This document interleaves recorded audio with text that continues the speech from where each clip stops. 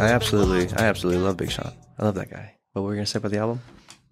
Well, first of all, I love it. It's amazing. I think you should listen to it. I think you should listen to all of it. I enjoyed it. I think it's like a beautiful baseline for how you should just think and feel all the time. Yeah, he gets, he gets, he gets metaphysical. He gets abstract. There's a lot of just like being positive and being grateful. I love that the bar. How could it get any better than this? Because like if that gets stuck in your head, I had a whole day where all I kept just saying to myself, "How could it get any better than this?" And It's I like just, a mantra. it is a mantra. Yeah. And it's a positive. It's like because if you're going to ask something of the universe, if you're going to make your mind think about, if you're going to put a thought out there, it's like, how mm. could it be better? How could it be better?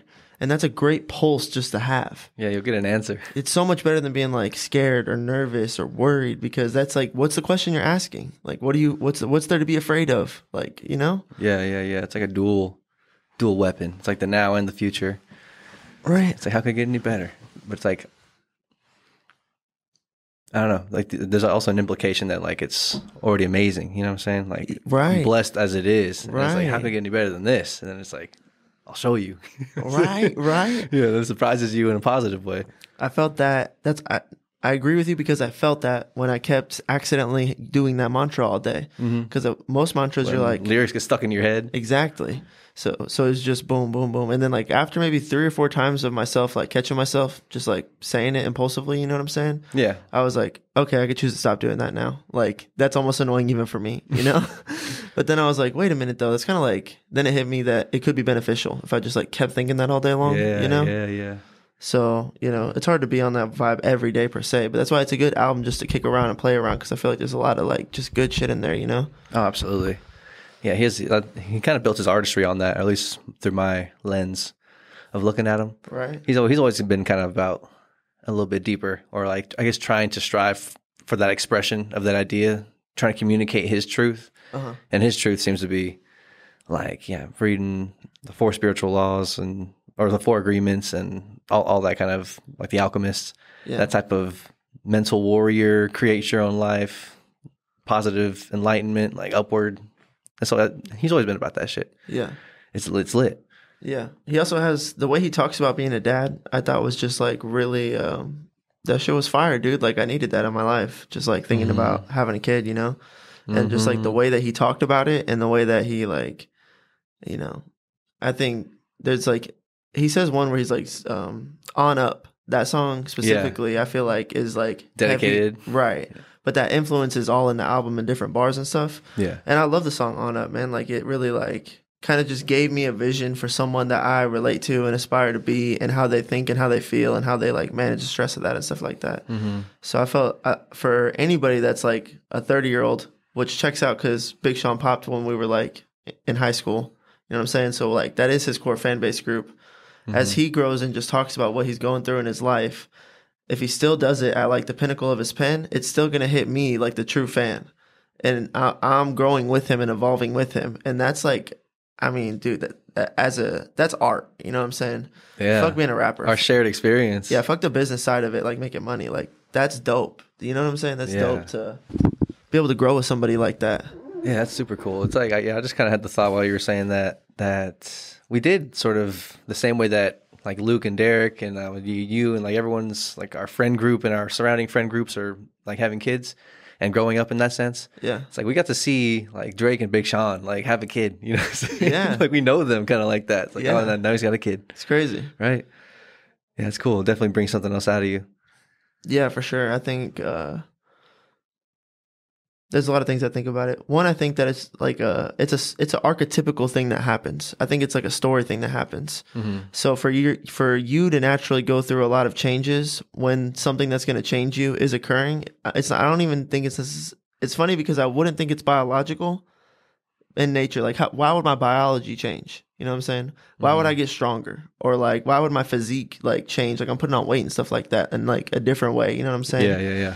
Like, uh, but if it's archetypical in the story, the story is bigger than the biology. Like, of course, my biology would change. You know what I'm saying? You could literally become a different person. You do become a different person because here's what happens mm-hmm. as you navigate the frequencies that your energy can exist on, it radiates to eh, what you are.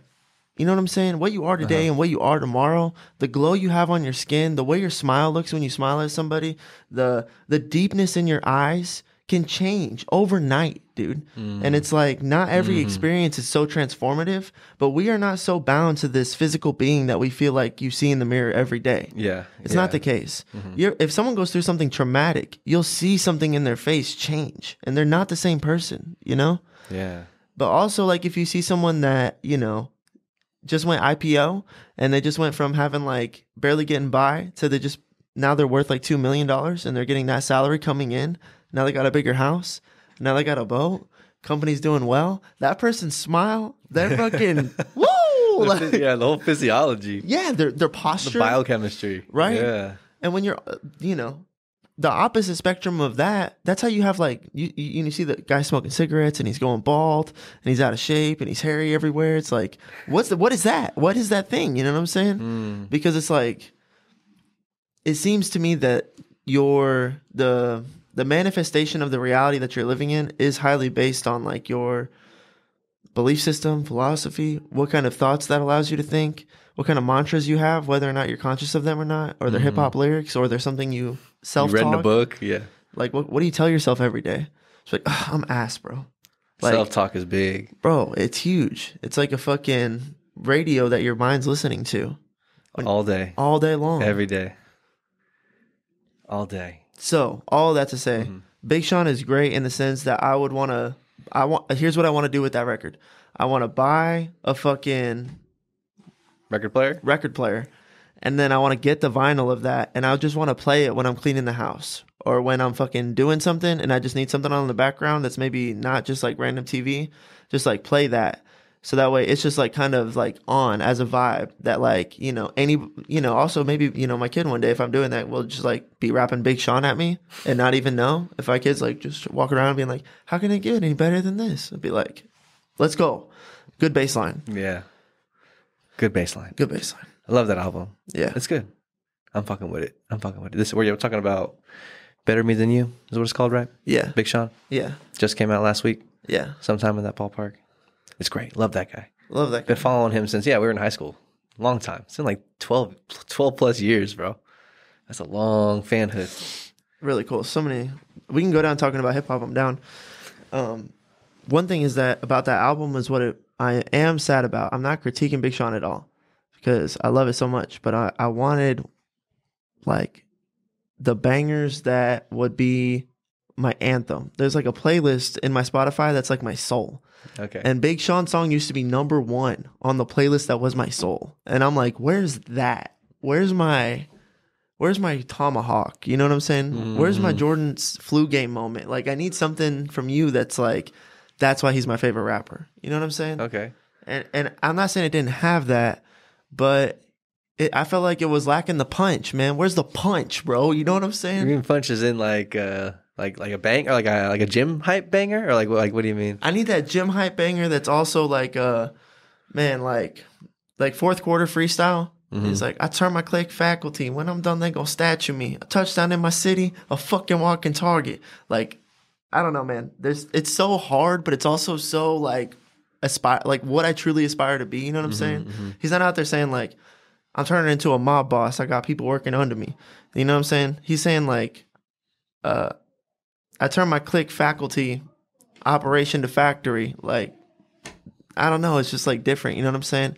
It strikes me as like a more not like appropriate per se, but it's just like metaphysical is deep. It's exponentially more energy to manifest than something like real that we could touch. Hmm. So if it's his stuff is just like from such a different perspective that I think it's like more true and more effective. So it's like I don't even want to listen to that, to that other shit because it's not true. I can't like apply it. It's not applicable. It's just like mm-hmm. I'm rolling down rock. Uh, it's like I, I like that shit too. I do. There's a part of me that wants to be like just go crazy, but it's like Big Sean had this way of saying some shit that I was like, that's why he's better than everybody else, bro. That's crazy, man. That's like, okay. But you feel like I didn't have that? where was it? Do you know? I, I don't know. I don't know. I guess I don't know. I guess I, I just kind of heard it throughout the album, or I guess I as as as a, I just listened to it in one long take, so I didn't really break it down by like song by song. So I don't really know the songs exactly, but I definitely heard it all the way through at least once, and every Right. every song maybe some songs multiple times. Like a, a couple songs that come to mind for sure. Like yes, yes is yes yes is my gym banger. There's like the just the, just the energy behind it, you know, just the energy behind it, or the the intention of the energy. Okay, yeah, that song is That song amazing. hard. Yeah, That song is. Uh, that song gets me there. That's what I'm saying. That's something you can put in your bag. That's the Mm-hmm. thing too. You can be like, no motherfucker, yes, yes, and then that's like, what is that happening? And for me, what that means to me is Mm-hmm. when something is like a roadblock or a no, it's like, oh, I can't do that. It's like, Yeah, the the, the can't do the the no. yeah, the roadblock. It's like, nah, fuck that. I overcome. I make it happen. It's the make it happen. this comes out from a, a foundation of I'm, I'm gonna get it done. or don't take no for an answer. Like Yeah. I've I've been given that advice. Just like don't take no for an answer. Like that, you know. There's a way you can you can say you can say no to a no sometimes, Yeah, and and that's powerful. You know what I'm saying? And a no to a no is a yes. it's a yes, yes. like exactly. Yeah, and uh, that. and so yeah, that song's like something you pull. You can pull that out of your bag. You can use that. Mhm. But like old Big Sean, like bro, like uh, finally, well, finally famous Big Sean was like one of my favorite albums of all time. I don't even think that he like Like the first one, his studio album yeah with the red, red uh, with the red cover. Yes that album was whole. It was complete. Like truthfully, I'm like that was good football, boys. We're gonna run it just like that. Smash mouth make football. them just like that, like they used to. They don't. It had freaking. It had everything you could want. It had "I Do It," which was a radio banger. That was also a gym banger. Yeah, I had my last. I had Chris Brown singing. fucking ass. It had "Ass" club banger. Had memories. Memories get to your heart and soul, Your touch you. That song. That song is Big Sean. You know what I'm saying? If there's one song, that, that's the one. I think that's the one. Dude. And if you've never heard it, great song. Memories by Big Sean. the intro to the album is amazing. It's Yeah. just like 45 minutes of him kind of like Or seconds. 45 sorry. it's a long album. 45 seconds of him uh I think he's just kind of light rapping, right? yeah, he's. I think he's rapping on the beat to Memories. Yeah, right. It's like a like talking rapping, it's kind of a spoken word almost. Get it, let's go. so. Yeah. Go, go. Yeah. Go, go. City on my back, I've so that way. and I'm bigger, still sleeping long enough to dream, or something like that. Yeah, he's been going hard. He's been going hard, but a couple songs on that on his newest shit that I'm I'm fucking with. Yes, for sure, for sure, for sure. Typecast, I like Typecast a lot. Yeah, I remember hearing that song and thinking it was good. It is what it is is really good too. Yeah. And then uh those are like kind of like more of like uh gym gym tempo songs, but then also uh something is the other one I like a lot too so far. Something. Yeah, it's like everybody going through something. Everybody going through something. Yeah, yeah. It goes. yeah, it's like Isn't that a nice thing to have just in your house? all right, exactly. You know Everybody going through something. this is facts. Everybody going through something, bro. Yeah. Everyone's going through it. We're all going through it. That's what I learned at my last job. Like Hmm. two jobs ago, didn't know that. Last job, it was like a keystone lesson, just hmm. to like res- just to have more empathy for the narrative that ev- everybody's living. So like, Was there like a particular instance or something that like happened to switch that, flip that switch? so two jobs ago, I was definitely just more. I, I one of the keystones was Michael Jordan. Learn to be more like Michael Jordan. But then it got to the point where like, yeah, when Steve Kerr like punches Michael Jordan because he's just like, I mean, pushing people in. Bullying, almost borderline bullying. man, bullying such a it doesn't feel like you're doing it until you're outside of the washing machine and you're like, I guess in a sense I definitely was like being pushing for sure. antagonistic, you know what I'm saying? yeah, And that's bullying, you know what I'm saying? boy pushing. He pushing, pushing, literally. Yeah. it's also like this weird thing where I also thought we were kind of like the best of the best around. Yeah. So if you weren't like performing or honoring or respecting that, it was like you could just leave. You know what I'm saying? You know what are you doing here anyway? Yeah, like you're not talking about This here? is not complaining about these standards. This is not complaining about these standards. But you're having like a really rough time and getting pissed off at me for as- for being the one person to ask you why aren't you living up to the standards. You know. Mm-hmm. But then like, I went down the Michael Jordan train, and I had like three days left before I was leaving for a better opportunity, and this dude like slapped me in the face. And Yeah, I remember this. Right. I remember this story. I was like, you know, dude, you're not doing your job. You're playing like ass. You're late today. You're late every day. What the fuck, dude? Because it didn't really start that, but it started with me being like, bro, I'm, I'm tired of backpacking your section. Like, can you please? I, I don't want to take care of both sections. And then it turned into a whole fucking thing.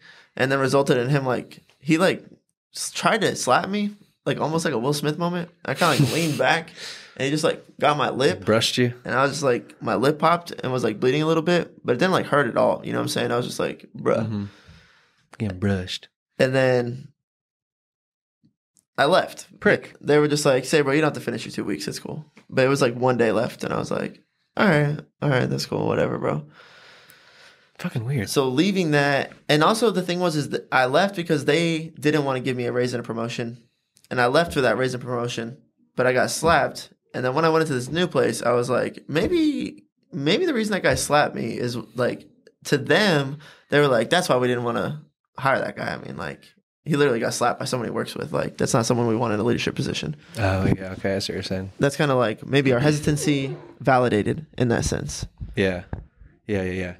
And I was like, "Fuck y'all, man! Like, I don't want to be." bullshit. Yeah, you know what I'm saying. I was, I was like, "Well, let me let me look, look inward." You know what I'm saying?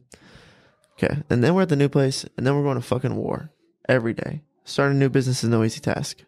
Yeah. Just going to bat, right? New business starting at like the busiest time of the year for that particular type of industry. Going ham, going nuts, and fig- having to figure it out every step along the way. Right. Mm-hmm. So, just the way that I saw those people work and I saw them come in and I could relate to them because I'd been in their position, but also I was in charge of them. So I saw like from like a over like a third person perspective instead of being in one experience, I saw 40 experiences of the new, you know mm-hmm. what I'm saying? Yeah. And then from that perspective, watching the people that cared and committed and like rounded the corner and like we set the expectation, we said it verbally, we showed what it could look like, and then we gave like a literal example of us being that way. And some people rounded the corner and became like the Cirque du Soleil archetype that we kind of demanded. You know what I'm saying? Mm-hmm. And that shit to me, because I've been through the struggle of being new in, new in that environment and having to to round that corner myself, and it just like earned so much like so it was like the Grinch. Like my heart grew like four times its size, and I was just like, man. When I look at them and see them messing up, I just wonder like, are they okay, or if they're late, or if they're like not performing, if their attitude's bad. I'm just like, instead of being like, hey, what the fuck? This is Chicago, baby. We're going on a playoff run, bitch. This is it. Mm. Um, instead, I'm like, you know, are you okay? Like, what's up? Like, how can I help you? How, how do I help you get back? Like, what do you need? Let's just like get you right. You know what I'm saying? Yeah. And uh, I, the reason that's not a shorter story is because like life pushed that into me. I didn't like really go out to seek that other than just like being aware. And then also when they earn my respect and my appreciation and it made me want to like chill out, there's also another part of me that's like, maybe that's not good. Maybe you need to be like, it's a better tactic to win more championships if you just like push people like that. You know what I'm saying? Push yourself like that. But it just felt like it, I, I was sitting there feeling it and I was like, I don't think that's the way to like win right now. I don't think that's gonna help these people play better, you know? Like I think that being more supportive and more empathetic and applying more love, what that at least what that is to me, you know, is going to boost the performance and get us closer to what we need to win in this situation right here for sure. And uh I don't know, man. I think that's just to me that's like how character growth happens. That's how it happened to me in the last like book of my story, you know Uh, that was like true change that happened within me and um i don't know it was cool yeah. Everybody going through something.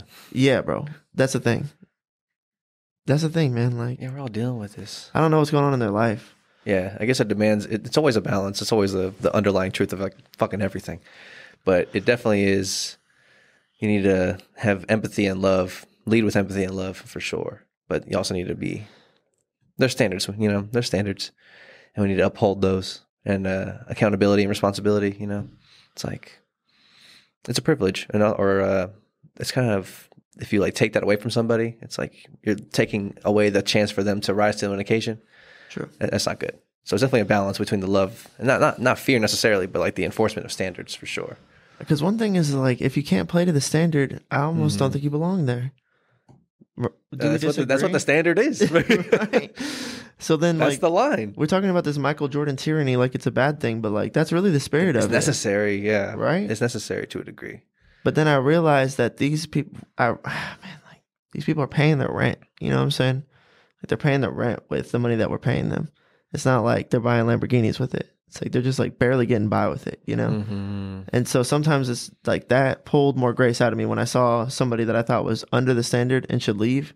And then I saw them like having a rough time and not like looking like they're having very much fun while they're getting their ass kicked. And then I realized that this is like, they're only doing this because they have to pay their bills anyways. Because they feel the need to. right. Yeah, they have to. Right. And in that moment, I'm just like, just help them. Just help them. Like, I don't know, you know? Mm-hmm. just help them because I think gravity's going to happen anyways. Like if they're going to, I don't have to take them out of the situation. The situation will take them out of the situation if that's what's going to happen. But if all I want to do with my soul and myself is just help them while Yeah. while I have the chance, you know, Mm-hmm. Mm-hmm. that was like a, one of those things that like clicked in the character change. What changed my perspective into place was when I like saw that person having a bad time, and then it was like click, and then I just went over and started doing shit as much as I could. You know what I'm saying? Mm-hmm. Because like, who am I to be like, fuck this, get him out, get him out? Do I want to be the executioner? Like, I fucking don't. You know? Yeah. Yeah. I guess if you're going to be the king or the person who's in charge or like run, like whose judgment we're going forward with, it's like you need to be able to to pass the sentence, you know. But you shouldn't just be beheading everybody for the littlest shit. It's a fine balance. It's a fine balance. You can't be burning everybody alive. Turn to the Mad King. These are good questions. You want to switch to kingship? Because we could talk about that. Kingship? Yeah. Yeah. Okay. So let's just let's just like let's say I am like a king of a country, uh, like olden times, like 500s. I've got like a Yeah, medieval times. medieval type times. shit. You know what I'm saying? Yeah. Okay. So they're not super huge kingdoms, but like you know, We got some land and shit. right? And you got a kingdom, Okay. right? And then we meet each other, and then it's crazy because we don't know very many people that are like leading countries, right? Mm-hmm. So like, how do you handle capital crimes in your country? Mm. Capital crimes be like murder? Yeah. Well, I don't know what you deem capital crimes. Okay. That- That's, one of my other questions. You know what I'm saying? Uh-huh. For instance, like uh, cattle rustlers. Okay, yeah, people that stole saying. cattle. You know what I'm saying? yeah. They were. That's a capital crime in Western culture. So they would just get executed. Even though stealing a cow right now wouldn't get you executed. You know what I'm saying? Sheesh. Guess yeah, it was much more important back in the day. Yeah, because I guess it was kind of it was fucked because eight guys on guns with guns and horses could steal 100 cattle, and if you had if you were a rancher and you had 100 cattle and they stole all of them in one day, like your family would die. Like it was the depression. Like you couldn't, you'd be cooked. You know what I'm saying? You're not gonna. How you gonna make any money? Yeah, you're done, bro. Or- And yeah. you probably owe money on the house and the farm anyways, so you're like the debt the collectors are coming. It's a whole thing. And that can but if you're like a farmer, you can't steal a crop. You know what I'm saying? If there's like plants everywhere and they're Mhm. like selling corn, you can't you can't like steal someone's whole farm settlement in like an a- afternoon. But you could take their entire Take all their cattle. yeah, exactly. So then I, I heard this on fucking Joe Rogan. I'm not. This isn't research I did, but just to share the story. So to get Yeah. some context. Okay, okay. Uh, so then these cattle rustlers, eh, they treated it like murder. Like if you were someone who stole cattle from people like that, they just executed you. They were like Fuck. as like a don't do it type of thing, like a discouragement. You know? Mhm, mhm. So in our country, how, how do we handle cattle ranchers, or how do we handle? I don't know what time frame are we in. Right? I don't know. Viking times. Yeah, medieval times, thousands of years ago. Let's say, two thousand years ago. Yeah, there's definitely cattle's, cattle yeah. like that. Oh yeah. Oh yeah. But I'm saying, do you guys execute people? I kind of have to, right? I think so. Is there any country that I doesn't have a death so. penalty? That's a good question. That's a good question. Lord Justin, I haven't met one country, a one country with I've never seen one, one kingdom that doesn't have a few heads on the on the walls. All right, because I guess to what degree do you need that that discouragement, that level of discouragement? People are gonna do shit anyway. People are gonna be give a fuck anyway. But the amount of people that would enter into that give a fuck category would be a lot less. I guess presumably if you had some sort of penalty or some sort of negative ramifications for being a piece of shit. right? Yeah. It's like being a good parent. Okay, yeah, yeah, yeah, okay. I've had this uh, like in, in my mind of- before, but it's like being a king or being a president, whatever, running some shit, running a country, running a kingdom. It's like being a father or it's like being a a, a parent, you know? Like you have to like how do you raise children to be independent and wise enough to make their own decisions without being a, too much of a tyrant and controlling their every move? and being like unjustly whatever, you know, Yeah. hard. That's a great. It's, a fine balance. It's it's a fine balance. You can't just let your kids do anything all the time. of course not. It's like, ah, I can't be doing that. Can't just do what they want to do all the time. Can't be doing that. And they got to get along with other people. So you need to encourage that type of behavior and at least have a negative association assigned to other types of behavior or social interactions, treating themselves, treating others. It's a fine balance. But I think there needs to be ramifications. There needs to be there needs to be a fucking belt. There needs to be a beheading. I agree. People need to feel safe. Like the regular people, they uh, they need to feel like we're doing something about that. yeah. Right. You know? Right. Otherwise, they'll just get. some- the- Why, why wouldn't they just take someone else? Like I think we want them to like us or, or want our reign. Yeah. I think Jordan Peterson's That's how I run my country. Some people don't give a fuck. Yeah, right. I think he's mentioned uh I guess the need for like a justice system or like a properly implemented justice system as far as like action reaction or cause and effect and how we deal with it. Because then it's like, yeah, if you just like kill one of my family, then I come back and kill two of your family, then you come back and kill four of my family, then we come back and kill you know what I'm saying? It just never stops. Right. It never stops. Right. So yeah, I guess ideally the justice system would alleviate the need for or the uh, inclination towards vengeance, revenge. Justice. Yeah, making your own justice. Right. We need to stem, handle it through us. We need to outsource that. yeah. Yeah. Yeah. I don't know, man. It's crazy. Yeah, I think that some crimes are probably worth. uh Well, we could just banish them. Banish the crime or, or the person. Yeah. You've been banished. Exiled. yeah. Just kick him out of the city. Right. But- if that's murder, you know, that might be murder anyways because you're, you know, they're going to die in the wilderness.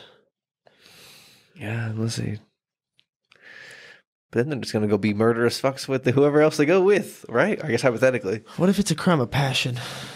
You know? Right? Yeah. Yeah. Uh, the, the, the context matters. This, the, the situation, the circumstances, Yeah, like everything that plays into it. The context is important. the brother sold half the farm and the other brother killed him because he it meant that the whole farm was going to go away.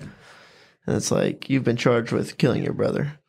Mm-hmm. Should we execute that guy? Yeah. our guy comes in, sees his wife cheating on him. That's a crime of, crime of passion, right? Is that is that what sure. that's deemed? Yeah. Right. It- I think it also kind of has to be like not premeditated at all. So if he just like picks something up and does it, you know what I'm saying? Mhm. That's a crime of passion. But if you like went and bought a gun, What a lawyer! What a lawyer that made that shit. it's like, yeah, right. Someone probably went ham on defending this guy. He's like, ah, shit, I need to, I need to fucking come with something out of my ass with this one. You've been passionate about anything in your life. It probably was just the case. The guy's like, I lost control. It's Like, empathy, I didn't or, even yeah, know what I was doing. I just grabbed it. blacked out. Yeah. He's like, it sounds like passion to me. You're blinded by love. love is blinding and is blind itself. Can you blame him? Can you blame the man? He's in love. Scot free, dog. Yeah. Crazy. Terrible, terrible. But this is this is These are the questions. someone has had to think about this shit. Yeah, this is how society is made. We need justice systems. We need something in place to make the people feel safe who aren't committing the crimes. Because if there's no repercussions for anyone doing fucked up shit, then that's I don't know. It's just scary. Context matters. Context matters. I remember when I was in 100%. sixth grade, I got into a fight at school. Scratch that seventh grade. Okay, Okay. middle school scrap. Where I went to school, there was on average, I would say 0.7 fights per day. Just in the locker room. About like four fights a week, four or five fights a week. Yes. There, we'd have weeks where there was a fight a day, for Mm-hmm. sure. Because I remember at one point thinking to myself, this is a, a, a real moment in my life. I was like, oh, yeah, everybody in this room is going to have to fight someday. Because everybody eventually fights. It's just different every day. And, and Mm-hmm. I was eventually, say, yeah, it's different. It was, or wasn't there was our usual suspects, I feel like there was repeat offenders. I mean, there was a lot of people that once it got started were basically like pulling out money and starting to like bet on stuff or like they'd start rubbing the dude's shoulders, you know what I'm saying? Like, oh shit, it's going down today. You're up, baby. Let's go. It's your turn. this is seventh grade. yeah. Yeah. Fuck, how old? So how old? Like what? 12, 13? Yeah, I was 13. Uh-huh. I could have been 14. I could have been eighth grade, but I think it was like seventh, eighth grade, Mm-hmm. you know? And uh, Fucking criminy, dude. Yeah, man. I was just like, one of these days. It's when going this, down. the, all these happen, all these fights happened where, like in like the gym locker room. For the most part, yeah. Okay, heard. Because it, because it, uh, when I was in eighth grade, it got to the point that there was like police sometimes, like a security guard. Policing. Yeah, policing. and then if you got into a fight and it was just like on school grounds, like you'd be like getting fucking tackled, maybe even getting arrested. You know what I'm saying? yeah, yeah. Fuck. Yeah. And uh That's crazy. What was the principal's? what was the principal's mindset? I'm sure, or I'm, I'm wondering during this. I don't know. She drove a Mercedes. It was kind of tight. Damn. Yeah. She didn't give a fuck. I remember she always had this red Mercedes parked out front. she didn't give a motherfuck. Yeah. So she I'm, was. I'm, I'm kidding. I'm joshing. Joshua. It was a weird situation. She was like a five nine white lady in her forties driving a red Mercedes, and this school was kind of in the hood. I mean, Fights every day. it was a smaller town, so it was like the only really school you could go to. only middle school, like in the, in the town. There was a public and a private school. Okay. Most people went to the public school. Private school is kind of small. So yeah, it, you know what I'm saying. Yeah. It's kind of a. It wasn't like a alcove of like really terrible area that some places have. It was just like the only school they had. You know what I'm saying. Mm. So, anyways, locker room was a little bit safer. You know, contain that fight. Okay. Fight, let them fight, break it up, get in the showers. No one says anything. No one says a word. Where were the coaches during all of this? Where's the teachers? Where's the authority? L- fucking letting us get sharper, making men out of those boys. Boys to men. boss, boss. No, whoa. no, we didn't. I was trying to think of what that Penn State's coach name was, but uh, not no Sandusky, but uh, they were. Uh, Throwback. sometimes they were letting us duke it out. I, I don't know. You know what I'm saying? What the fuck? I don't know, man. Where's the supervision? Where's the regular vision? I don't know, man. So Christ. at some point, I get into this. uh I don't know what it is. So it's your turn. It's your time. yeah, It's been enough weeks. Enough fights have passed. right.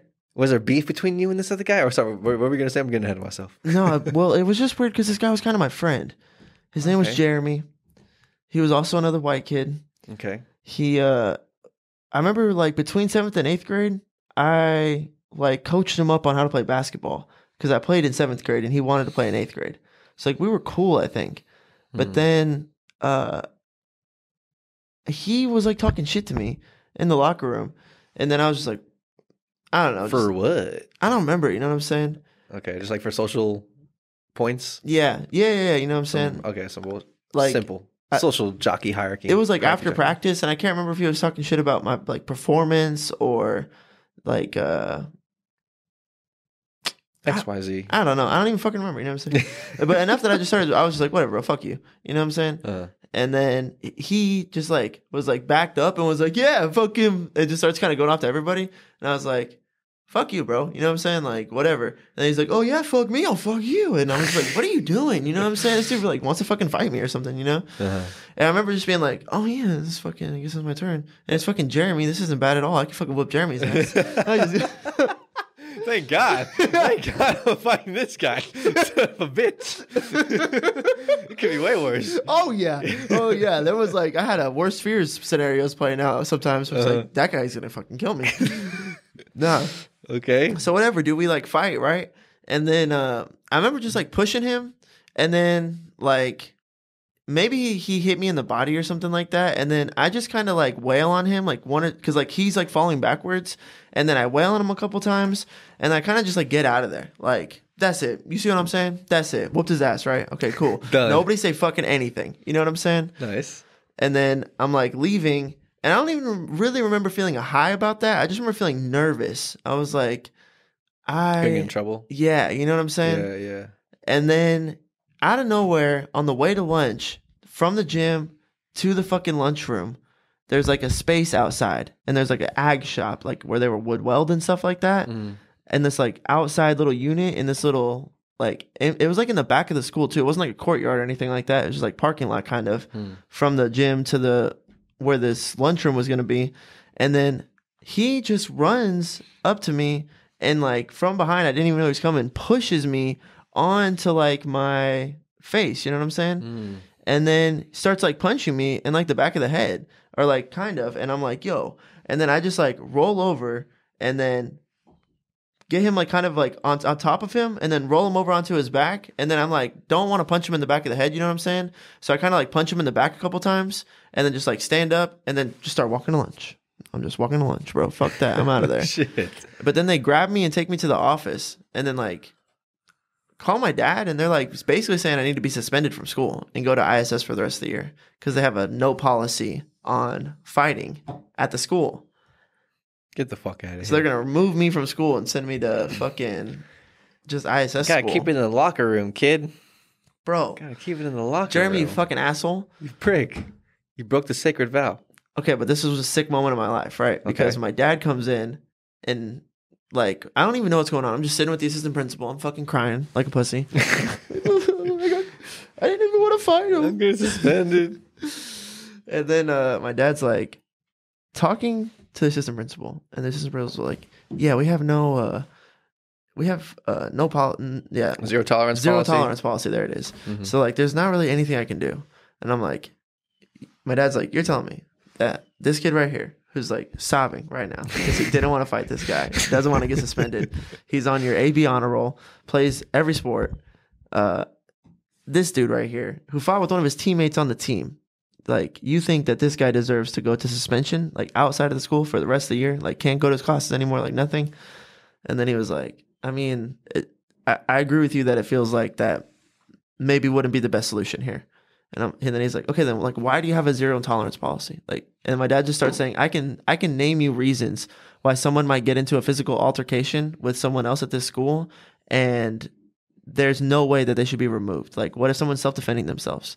What if um, they've been bullied all year long and then they finally just like don't know how to deal with it because they haven't talked to a counselor and then it, it results in like a physical altercation like what if um, a teacher is harassing a student and they don't know how to talk about it and then it turns into a physical altercation? Like are, are you also going to kick those kids out of school for the rest of the year? And he's like well no probably not in those situations. He's like so you don't have a zero tolerance policy then? Like you say you do but you don't. And then the, the assistant principal was like hold on i'm gonna go i'm gonna go talk to i'm gonna grab the principal see if i can get her um, and just see what she thinks about the situation. Mhm. and then the principal comes back in and the principal's like okay what we want to do here is we we would like to suspend, suspend matthew for three days just stay at home come back to school in three days and um, we'll talk about uh, maybe signing some paperwork saying that if we get anything else the rest of the year that we're definitely gonna have to talk about outside school suspension or something like that and uh, my dad was like okay, great, sounds good. then we walked out, and then we were driving home, and I remember just being like, that was fucking crack, dude. Holy shit, that was crazy. That's just words, bro. Using your words. Mm-hmm. Yeah, my dad was like, heard the story, and he was just like, didn't even know what to do. He was like, oh yeah, you can just like play Xbox, whatever. It's cool. Don't don't worry, don't do it again. You're chilling. Yeah, yeah, yeah. Yeah, Don't get caught. that that that was like a kind of fucked me up moment because like the same way a lawyer someday was like what's a crime of passion your honor what do we do here your honor come on what are we doing Are here you a married man, Your Honor? right you come home, your wife's getting plowed. like a field in the spring feel, feel the yeah, feel in the summertime. Oh, jeez. yeah so i feel like uh it just showed me that like i don't know man your back's pinned or something like that you can fucking use some words yeah, yeah, yeah. just wiggle out of like and you can say no to a no my dad was like no Zero tolerance, bullshit. yeah You can tolerate this. You can tolerate this. real talk Hmm. that shit was cool though Yeah, yeah. I guess we are talking about punishment, or how do we get onto this? zero tolerance policies Okay, that's what i'm getting to okay, okay, okay, okay. For our kingdoms. context matters Yes. Right. There we go. who the person is what happened Why? what the relationship is Yes. What's the history here? What's the movie? If I've been watching enough of the movie, I know what I want to have happen. You know, yeah yeah I know what I deem to be justice, or you know, like Yeah. what, what I'm looking for in my mind. I hadn't even gotten to my second chance yet. I, I feel like if I fucked up again, then it'd be like, okay, this is your last chance. You know what I'm saying? I still have two chances. what do you mean? right? As far as movies go, you know what I'm saying? Uh, my third strike. You play baseball? You American? Yeah. Why did we adopt It's one, two, three. a fucking baseball One, two, rule? three strikes and you're out of the ball game. Whatever the fuck the song is. But um, why did that become a presupposition for our judicial system? Like some some It's guy, a good rule of thumb, I guess. Thomas Jefferson was like, "That's how we should run things, right there." One, two, the third time, get him out of there. You're out. That's the last. I mean, what are we gonna do? Watch him fail again? Yeah, a fourth time, fuck out of here. Mm-mm, not my watch.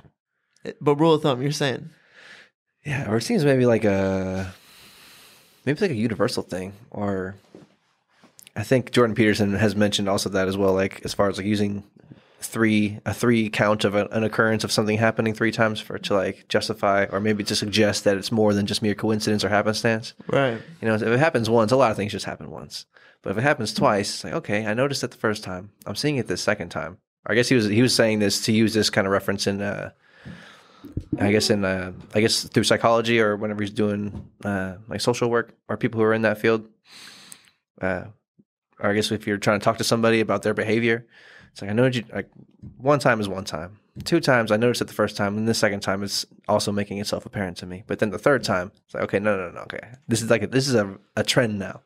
If it happens twice, it's going to happen three times, and it's going to continue probably, whatever, hypothetically. on, on the receiving end too, even my own spirit, if someone tells me I've done something three times in a row, I feel like it's super easy for me to be like, maybe you're right. Like even if even if I disagree, the maybe you're right, like how could you deny someone that? You know what I'm saying? Yeah, right. But the context matters, you know what I'm saying? Yeah. Depends on the accusation, right? Like of if course, if I'm getting, you know, told that I've been staring at women's butts and then three the three separate times, like I know exactly what we're talking about and I remember the moment and I know that I wasn't staring at that girl's butt. It's like that context matters for just because you have three instances of a behavior doesn't necessarily mean I'm guilty of the accusation. Yeah, yeah, yeah, and that's yeah.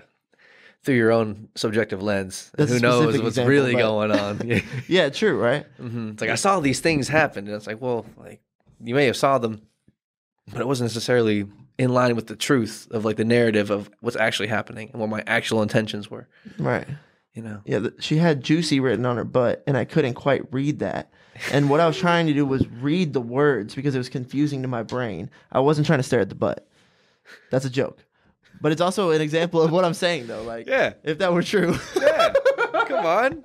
The fuck. no, I'm just saying, though, like, you don't really know. It's so hard to tell what's actually going on. Like, it's hard to think of an example mm-hmm. just on the fly, but things all the time could look like it's something, but not really be that thing because you're not in that moment actually doing You're just witnessing it. You know what I'm saying? Yeah.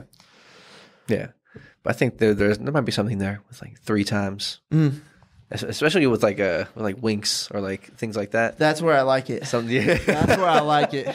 oh yeah. Yeah, once That's that, it. that third wink be hitting. That third wink hitting. because I'm like, Or the third time you see something and it's like, man, I was just thinking about that. Man, I was just thinking about, oh shit, okay. If it happens again, I'm gonna be tripping out.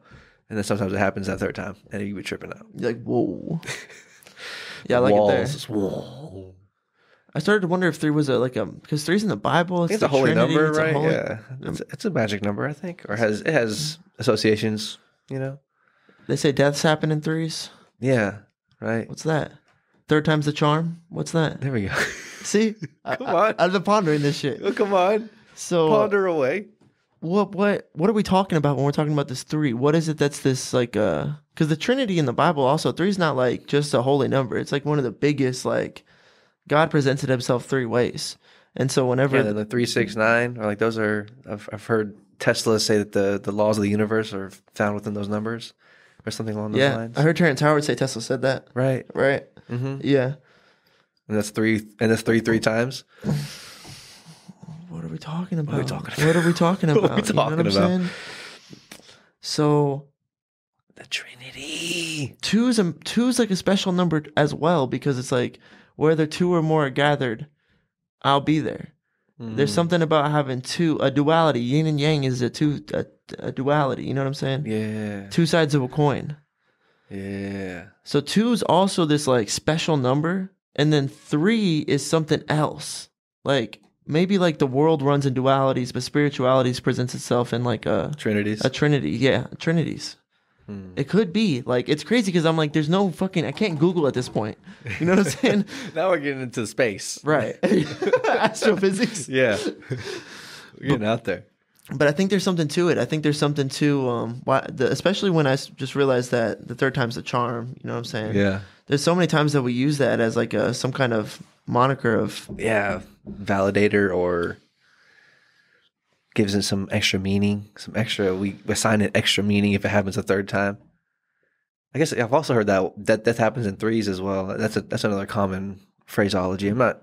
I guess I've never really empathized with that in any fashion or form. Has it like crossed you or hate you in any way in your life? Um, um, I'm trying. There was never a time I can't be like my cousin and my uncle and my cat all died on like Christmas, like 2005. I, there wasn't a time like that. Yeah, no. but there was have either. definitely like when um Aunt Carol passed, and then my mom had another friend that passed, and my mom was like, "Oh yeah, I'm just like a little bit worried, just because they say death happens in threes." You know what I'm saying? I remember being like, "What?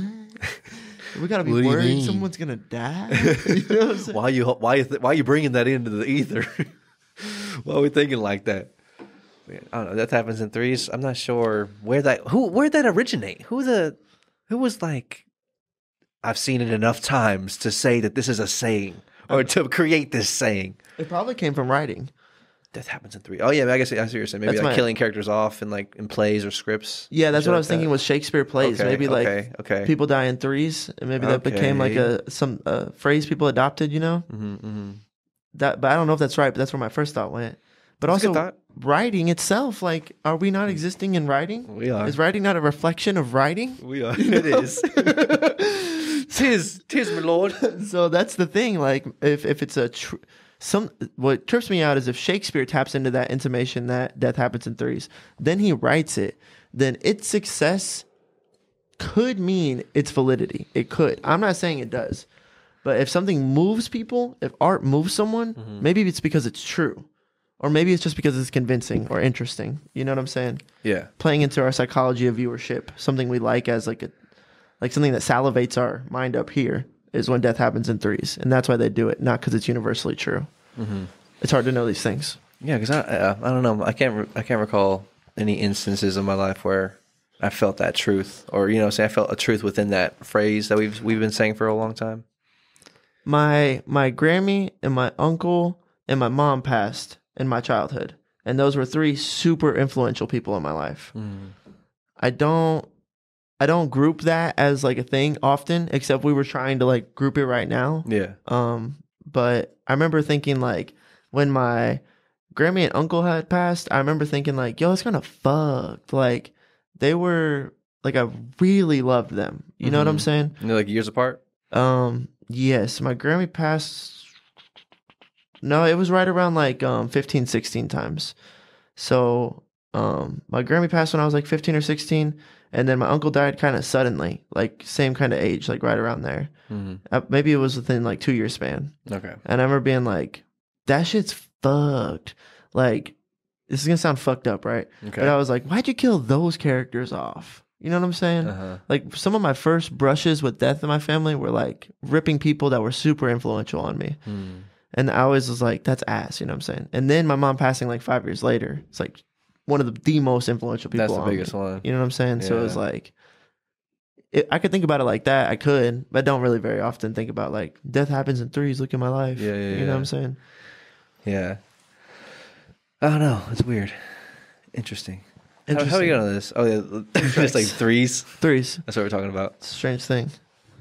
Magic numbers. Think about anything else with three? Is there any other phraseology, commonality, universal sayings? Threes, threes. I don't know.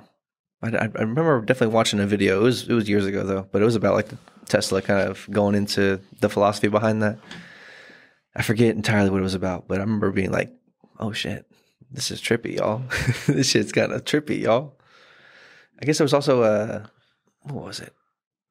I don't know. It was a whole bunch of kind of like scientific math talk, angles, like splitting, like a or having like a like a triangle and then a square and then like just doing adding more sides to it. I don't know. It was a, it was a whole thing, just like shapes and scientific abstract sort of like quantum level thinking is where like that kind of tied into. Huh. Tesla was on that shit back in the day, day. I think that's the code for The quantum. yeah.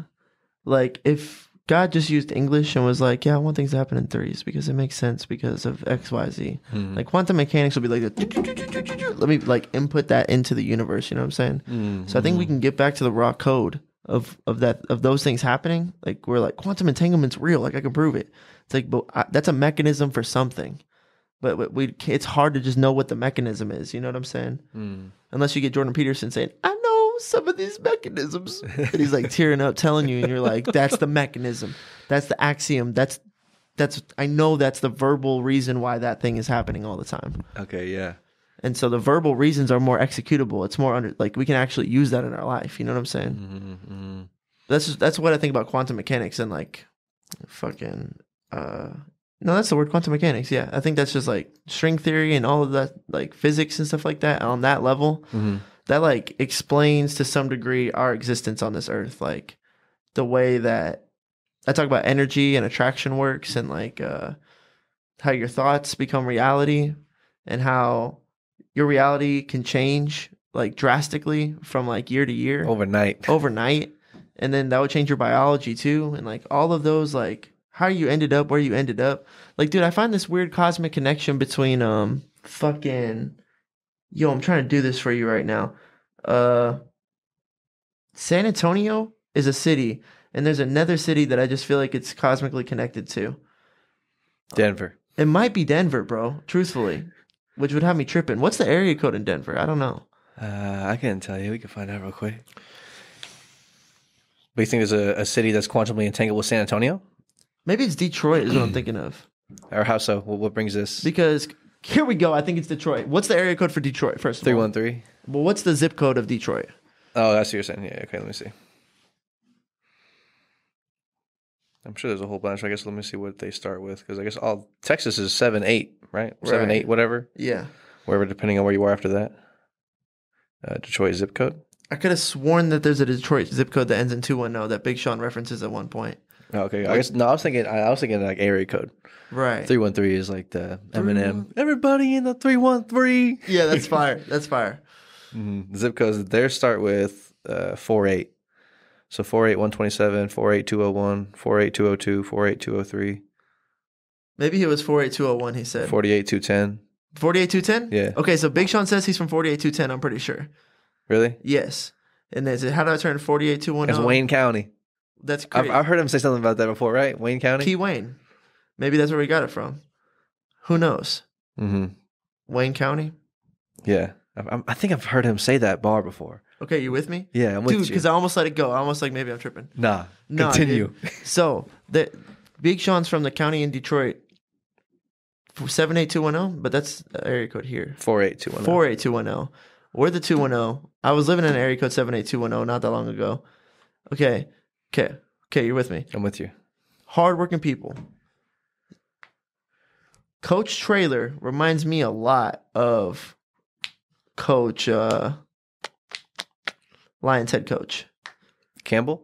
Coach Dan Campbell. Mm-hmm. I the similarities, the gruff in their voice, the southern boy in them. You know what I'm saying, Okay. dude? They're just like when I what because I was like Traylor's like a freaking Jahmyr Gibbs version of Dan Campbell. What? What what? What do you, what do you mean? He's like a little bit lighter, a little speedier, a little quicker to the point, more composed, a little more hands on with it. Like he's a little more like like a not he's not a Dan Campbell light, but he's like a more like speedy, athletic, hits the whole run and gets out of there. Okay. Campbell could take more hits, I think, probably, but He's a big boy. yeah. That's a big boy. He's a tight end. I'm pretty sure. I just think I think saying that's funny. Saying someone is the Jahmyr Gibbs of somebody else. Them. yeah. Or that's the Aaron Rodgers of Roger Goodell's. You know what I'm saying? Like he Yeah, yeah. he got an arm on him. He's slanging. It's a it's a meme on the internet. But uh dude, okay, so cosmic entanglement though. Why does Dan Campbell work there? Dan Campbell fucking works there and Jeff Traylor fucking works here. Like they have so much success since they've both entered those u- Roles. roles. Uh-huh. And then I think just just to me when I'm thinking about this cosmic entanglement, to think that the same archetypical character entered a cosmically entangled cities that are somehow maybe archetypically sim- similar. I don't know because I haven't I haven't been to Detroit like that. Mm-hmm. But like, and then both of them are also having like a turn of success from like a middling to like lower stand with this archetypical character Hmm. it just feels like they're mm, and I think this happens to people across the world too. Like you're going through something similar because you are something similar because there's only so much coding for these quantum mechanics to to run this whole fucking thing that we're doing. It's, a, it's beyond complicated, Super complicated. beyond my comprehension. But I think that you can see these like ties between places sometimes or like similar storylines kind of playing out. You know what I'm saying? Yeah, yeah, It's rare because we wouldn't really we know if it was like this is just this state's demographics are just like this state's demographics. Like they they what do you call it? Fucking voted. Mm. They uh what happens when you make someone president? like you're. Um, Elected. yeah, there we go. Yeah, they elected the same type of people across the board. They had the same laws across the board. The crime is the same. Like we would see that kind of shit. You know what I'm saying? hmm On the, the numbers. In the numbers. But there's some similarities for sure across the board. Yeah, And I think there. there's there might be something between San Antonio and Detroit. The same way that I feel connected to Big Sean. I was gonna say it might, it might be because we're connected to Big Sean, you and I. You know what I'm saying? So because you and I are so entangled with him, we think that, or I think that maybe there are connections that present themselves that would help validate that thought or to help reinforce that thought. But I've definitely felt entangled to to him for a minute when he's like, yeah, because he's going when, when he's going through shit or when he's whatever. Uh, I don't know. I guess maybe in his career of like what time, like the timing is really like how, how you would identify all of this shit. It's like the timing of things and when you notice something, and like maybe the timing of when he's like releasing music or whenever he's doing what he's doing, becoming becoming a dad, growing up in his own right. It's like we're we're kind of in that same entanglement or experiencing maybe similar life change or transmutation of what's going on in our stories at the same time that he's feeling it as well. But I think that's a real thing going on. I, I, I, what is that connection, right? I think that we're trying to do the same Mhm. thing. Maybe we're inspired by the same alien idea. Mm-hmm. Like we're, we're we're going down the same trajectory. Or if you had to paint what he his life story is, and you had to paint what our life story is, you, maybe you'd use the same color palette because it's like a similar arc that we're going through. Mm-hmm. Maybe we all have a hundred karma lives we go through to learn a hundred different character arcs, and this is, but we're both on ninety seven, like, and that's kind of crazy. Something like that. Something like that. You know what Right. I'm saying? mm-hmm.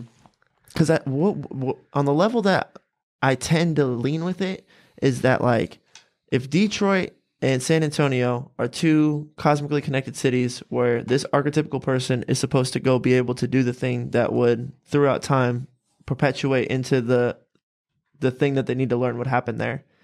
It, it's not far fetched for me to think that my my energy, my frequency, my being was gravitationally pulled to San Antonio through my life story to get me here so that I could be in the place where I'm in the churning of the thing. Just like Big Sean was able to be born into the city where he was able to be churned into the thing that would make him the thing.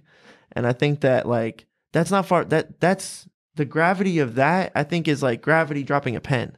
Like we're pulled places. We're like drawn to things. Mm-hmm. Like we we're you're choosing everything you do all the time, but it's you're are you what are you? Like what are your choices? Are they free will? Are they inspired? Are, Yeah. are they biology? Mm-hmm. You know what I'm saying? Yeah. Well, where's the final decision come from? Right. Why do you want the things you want? Mm-hmm.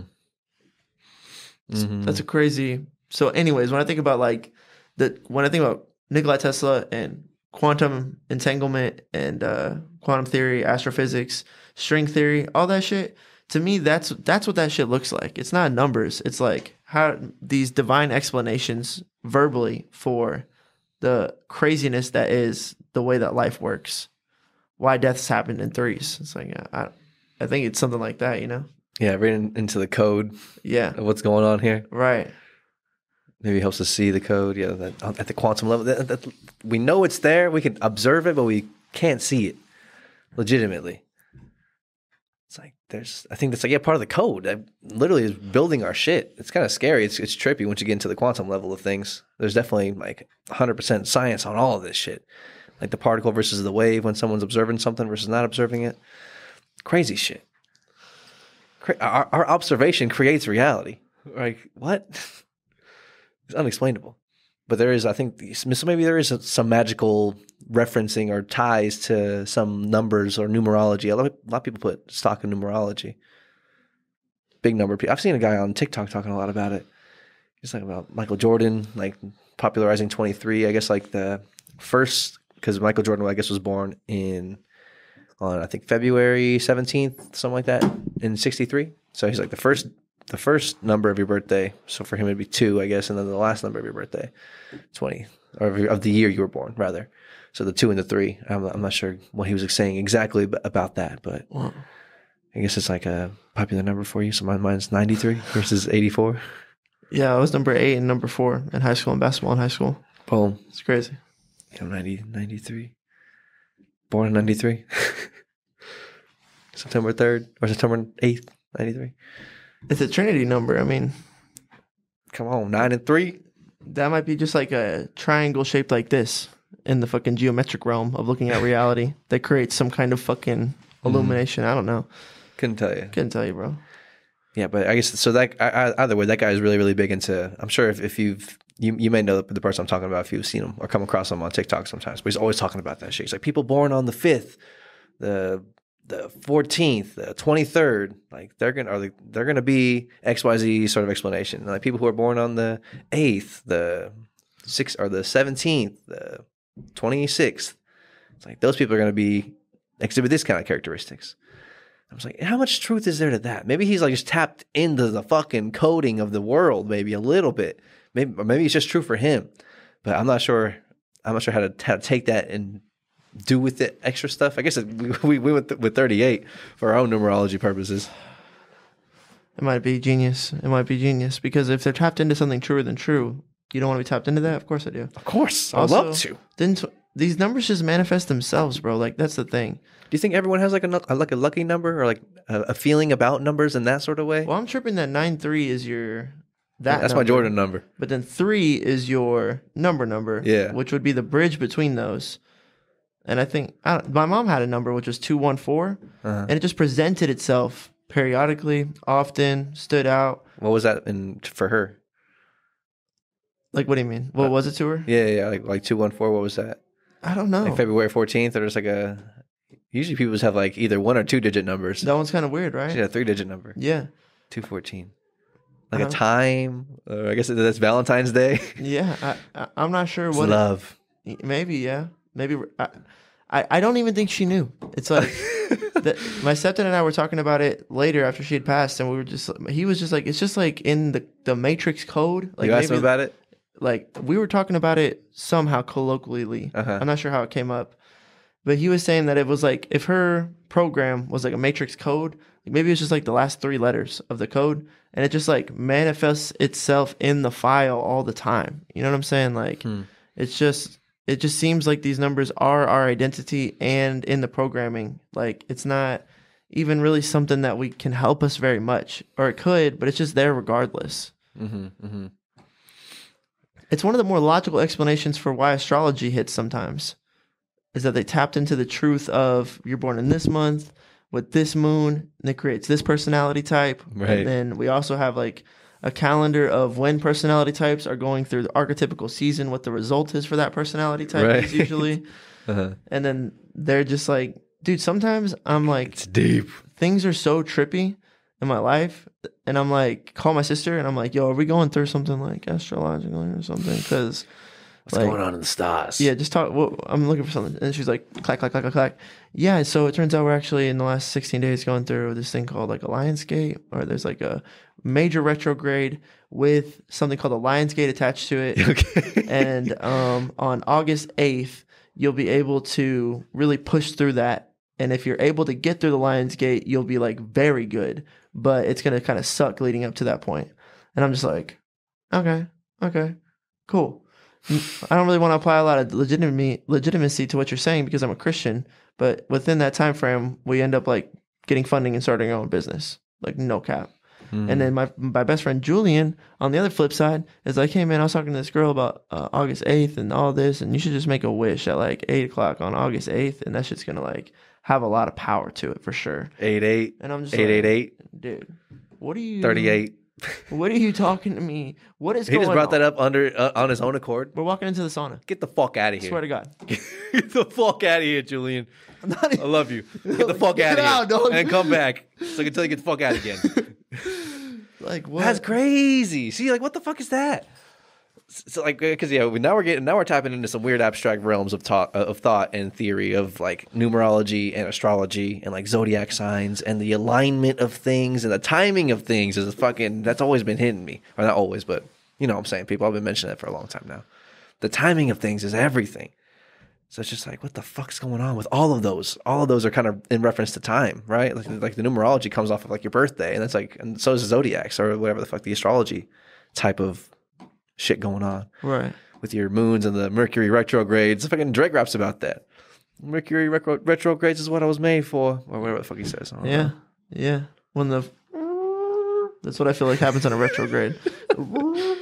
and you got to sit there and go, ah, Yeah. yeah, Like push through. pushing through the G force.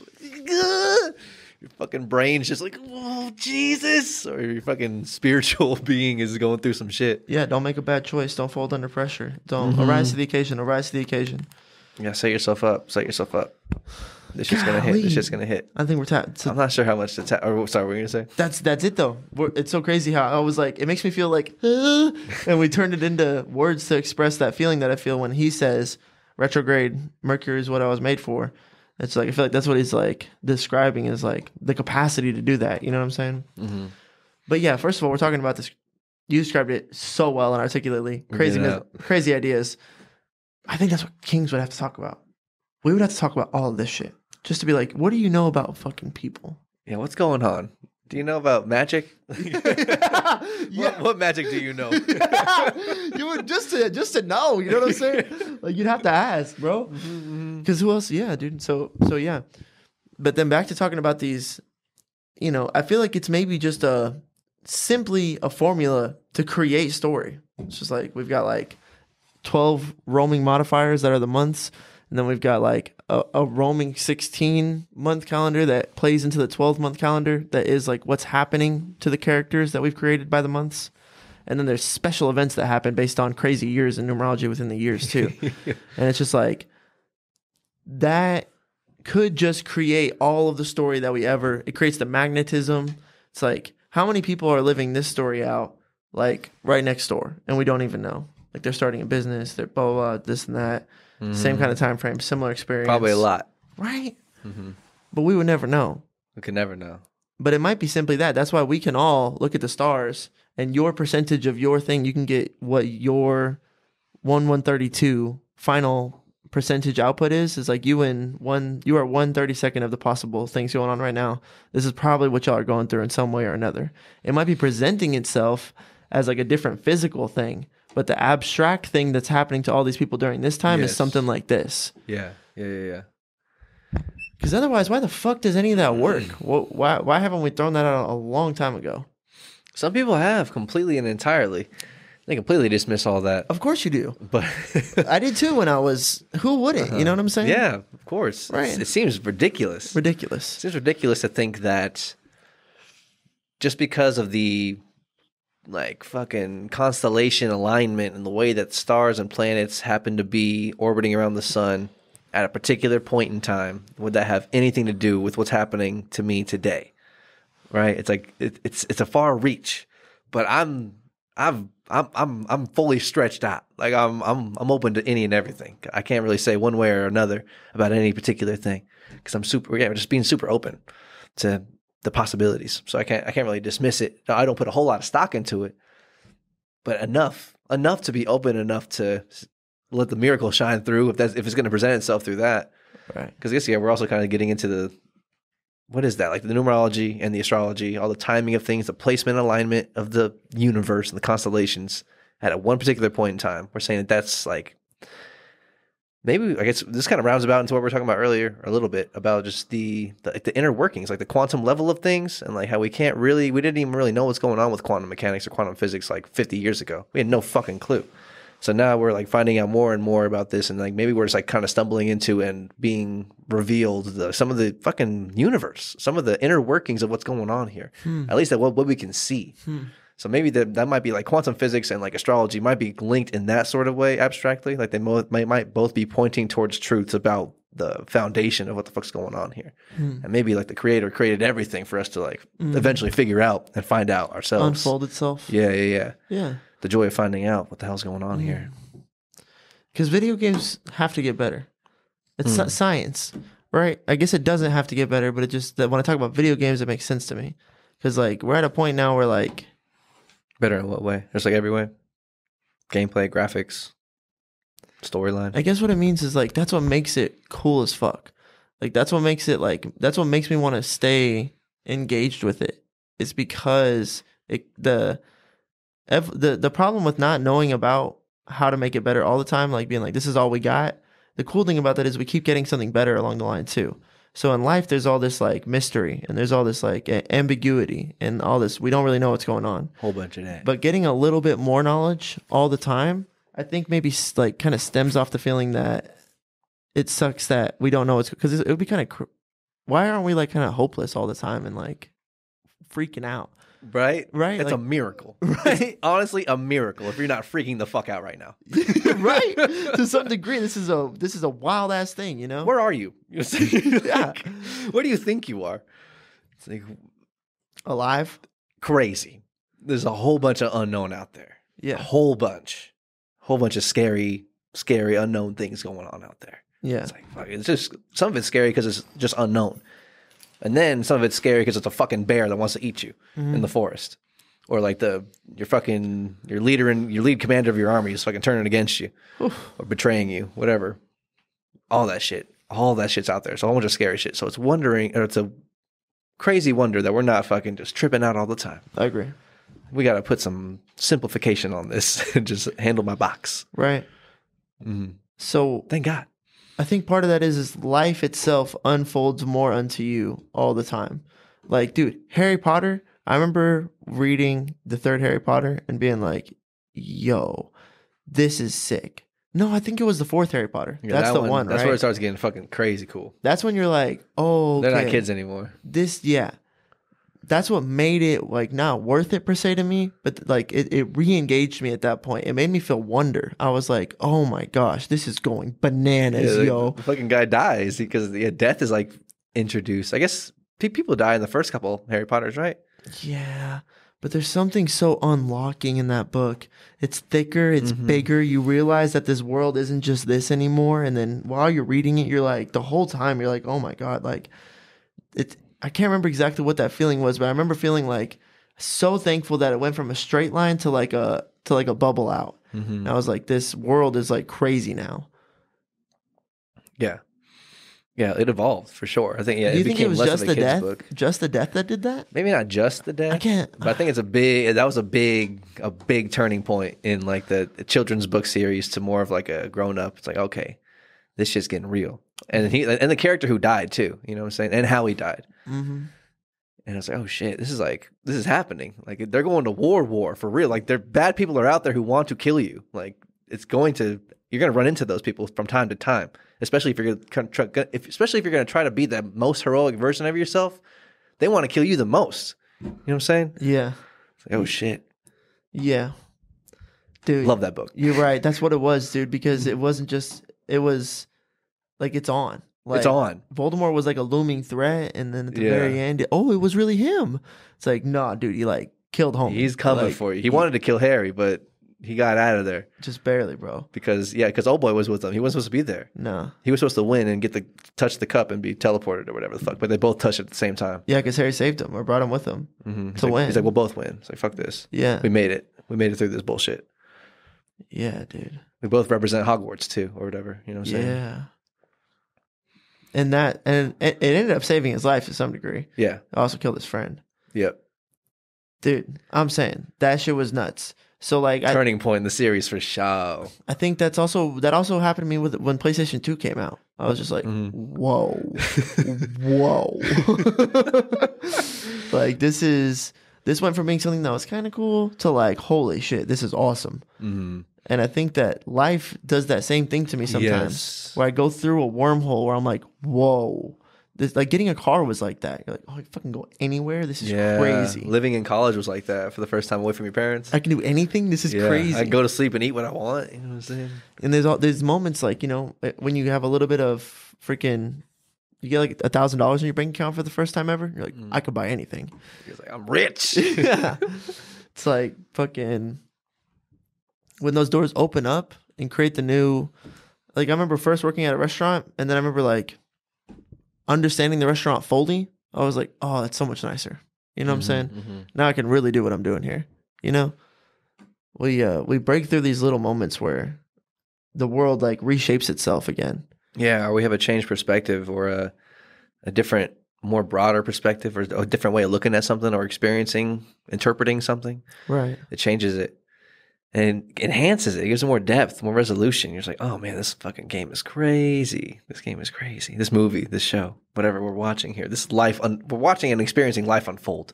Right. That's all we're doing. We're watching the passage of time, or we're in the passage of time, or maybe where's time experiencing itself. You know what I'm saying?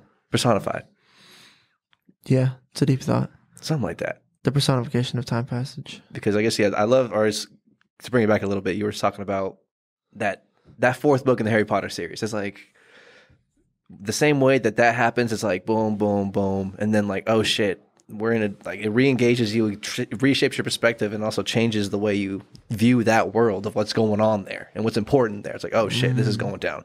Danger's actually here. We need to fucking get it together Yeah. and, de- and defeat these motherfuckers or whatever. Defend ourselves. Watch out for this bullshit. But I think yeah, the same way that that kind of happens in that story, and it's an incre- incredibly enticing story. Like it's super. Like I'm not sure if it's the most popular. She was the most selling artist or whatever, most selling author in where's she from? Britain, Uh, the England? UK. somewhere over there. Yeah. across the pond. Across the pond. Across the pond. She, she's a British girl. yeah, she's she was the most selling author over there for a long time because of that fucking. She might still be Yeah. because of that series. And it's super enticing, but what goes on is super cool. And we were talking about is that that fourth book is like right in the middle too. It's like one, two, three, and then five, six, seven. You know what I'm saying? Right yeah, in the middle. true. But life does that in and of its own self. Like the life story that you're living and everyone's living goes through moments like that where it's like, this shit's cool, or like this shit's crazy. This shit's in like fucking. I guess maybe it could just be events that happen in your life, but also I think I, I was more so referring to just like events that happen that shape your and change your outlook and your openness and your in, inter- interfacing. It changes the way you interface with the the game and like the thoughts and your actions. It does. I think life just has things like that. If you're open to it and looking for it and willing to change and look for the the next best thing or trying to grow and expand your perspective and your awareness, Yeah, if you want that, it's there for you definitely. at an infinite level. You can't. you- There's no bottom. There's no bottom of the rabbit hole. It goes deep forever, deeper and wider, exponentially deeper and wider. It gets fucking crazy out here. And maybe part of her success was that she just accurate, accurately represented that in a way that was digestible. Mm-hmm. And just that's what gets fed back into the circuitry of people. Like the system itself gives us a brain that allows us to be so interested in the things that will help self generate that experience for everybody else. Where it teach you about life through the things that you like about life. And we're just like constantly attracted, feeling through the darkness for this warm thing that we do know because it's familiar, but we don't know because it's like a virgin experience for us. Mm-hmm. I think that's what goes on. I think that's why good art is good art is when it like you can relate to it or it's a fresh perspective or it helps it brings you a fresh perspective. Yes. Yes. Hundred percent. Also, I think if if like more opportunities get presented to things cuz like how does a song become number 1 ever?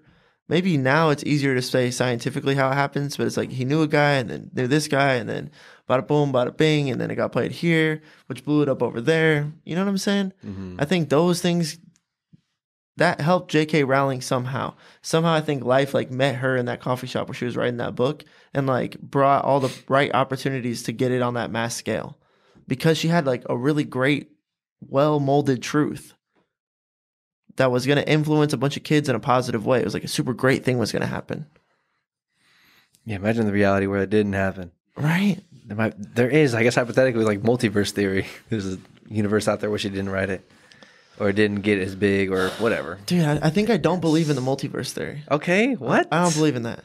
Okay, how so? I've heard a bunch of people say that that's like the highest probability is that that's what's going on. And I guess multiverse theory being, I'm not exactly sure the entire description of accurately what what it is. The theory is exactly, but my understanding is that it's just like there's infinite amount of universes where an infinite amount of things are happening. We're in this one. We're experiencing this one currently, today. Maybe we wake up in a different one tomorrow, slightly different. But in these infinite amount of universes, infinite amount of things that could and have happened everything could be exactly like the one we're in now, but just one slight change or tweak here or there. Hypothetically, it's like Mandela, the, like the Mandela effect, kind of. And, like every reality that could like there's a million realities where you're wearing every possible color suit jacket. And it's just like this and that's the only thing that's changed. Mm-hmm. and then there's one where it's like every possible change that could be here is all going on all at the same time as this one is going on all around us. So like i think that's the multiverse timeline. Like you could dull it down to like saying that there's only so many changes but it's like everything we could have different cameras or it could be a different office or it could be the same you know a what I'm different cadence in my breath, a different heartbeat, a Right. different rate of growth, hair growth. Like all of that shit right it could be the ever so slightliest tweak that you can't even perceive. Right. Some Mm-hmm. people like to conceptualize it like this is there's a version of your life where you got coffee this morning, and the day's just a little bit different the whole day because of Where you missed that light, or where you made that light, or whatever. and then you gave that money to that homeless man, or you didn't didn't give the money, or Mm-hmm. you can take stems and variables all day long, but a good writer would just do like a couple like different things that happen because of that, you know. Mm-hmm. But the multiverse theory is all of the realities of all of the things you were could have couldn't have done, and all of the potential outlines and trees of all of those things are playing out with you all of the time. yeah, it's like Rick, Rick, Rick and Morty has that, right? Yeah, yeah. the multiverse. It's like stemmed on that that they can just go to another version of Yeah. themselves. It's like, and- all right, in this universe, we didn't die, or like we did die, so we're just gonna replace our dead selves. right. And th- yeah, so but here's the thing: is that like I think that that's a fun theory because there's we it helps us do something with all of our potential, with every all of the choices that we're making all the time, just all the choices that we did not make. That subconscious thought plays itself out, I think, in us believing in this multiverse theory because it's kind of comforting to know, well, at least it's going on somewhere. Like, there's a me that's a mm-hmm. famous baseball player. Yeah. You know what I'm saying? There's the me that, you know, got married to my high school sweetheart. There's a me that, whatever, all these different life choices you could have made. It's Yeah. like, there's a version out there of me doing that, and it's just not me in this one right now. But because there's a me that is doing that, it doesn't feel so existentially scary that this is the only time. I have no other chances. If I don't do it here, it doesn't get done. And I think that thought's so anxiety inducing. We like multiverse theory. But I don't want to shy away from the fact that I think that this is like the one universe. Hmm. It's a bold claim. I don't even like it per se. you know, there are a whole bunch of, I guess, what galaxies and other planets and the universe or whatever. The yeah, solar system is expanding, has crazy amounts of, crazy amount of crazy amount of shit. Okay. The easiest way for me to bring it to the table is through Christianity, but I didn't come to this feeling through a Christian lens per se. But like in the Bible, there's no they're like this is it. You know what I'm saying? Like mm-hmm. God made this reality. Yeah, and regardless of if that is even true, multiverse theory, Right. it literally doesn't fucking matter. Like, you're here, bitch. Like, there might be other universes out there. I, I think I mentioned this last pod, but I didn't articulate it 100% the way I'm, I'm about to. But it's just like, because I think you might not, you definitely don't wake up in the same world you put to sleep in. So maybe whenever you go to sleep, you go somewhere else based on what you put into that day prior and whatever. Because, like, you wake up, people die every hour. It's like when you wake up in a different, or you when, when you wake up in a different day, it's a different reality. It's different for sure than it was yesterday, and we just assume it's the same. We just have the memory of what it was yesterday and memories of our past yesterdays that were longer than yesterday ago.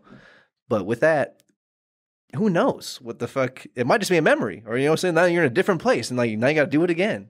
It's like you die when you sleep, then you come back as a different, regenerated being, and maybe you not not die, but you know what I'm saying. Maybe you fucking I, I remember it was almost visualized to me a while ago, but I, I was running this kind of thought theory, and I was getting super wavy. It was whenever lizards were fucking popping off in my in my HUD all the time in my matrix, and lizards were like representative of like regeneration and re- regrowth, and they regrow their tails and that kind of shit.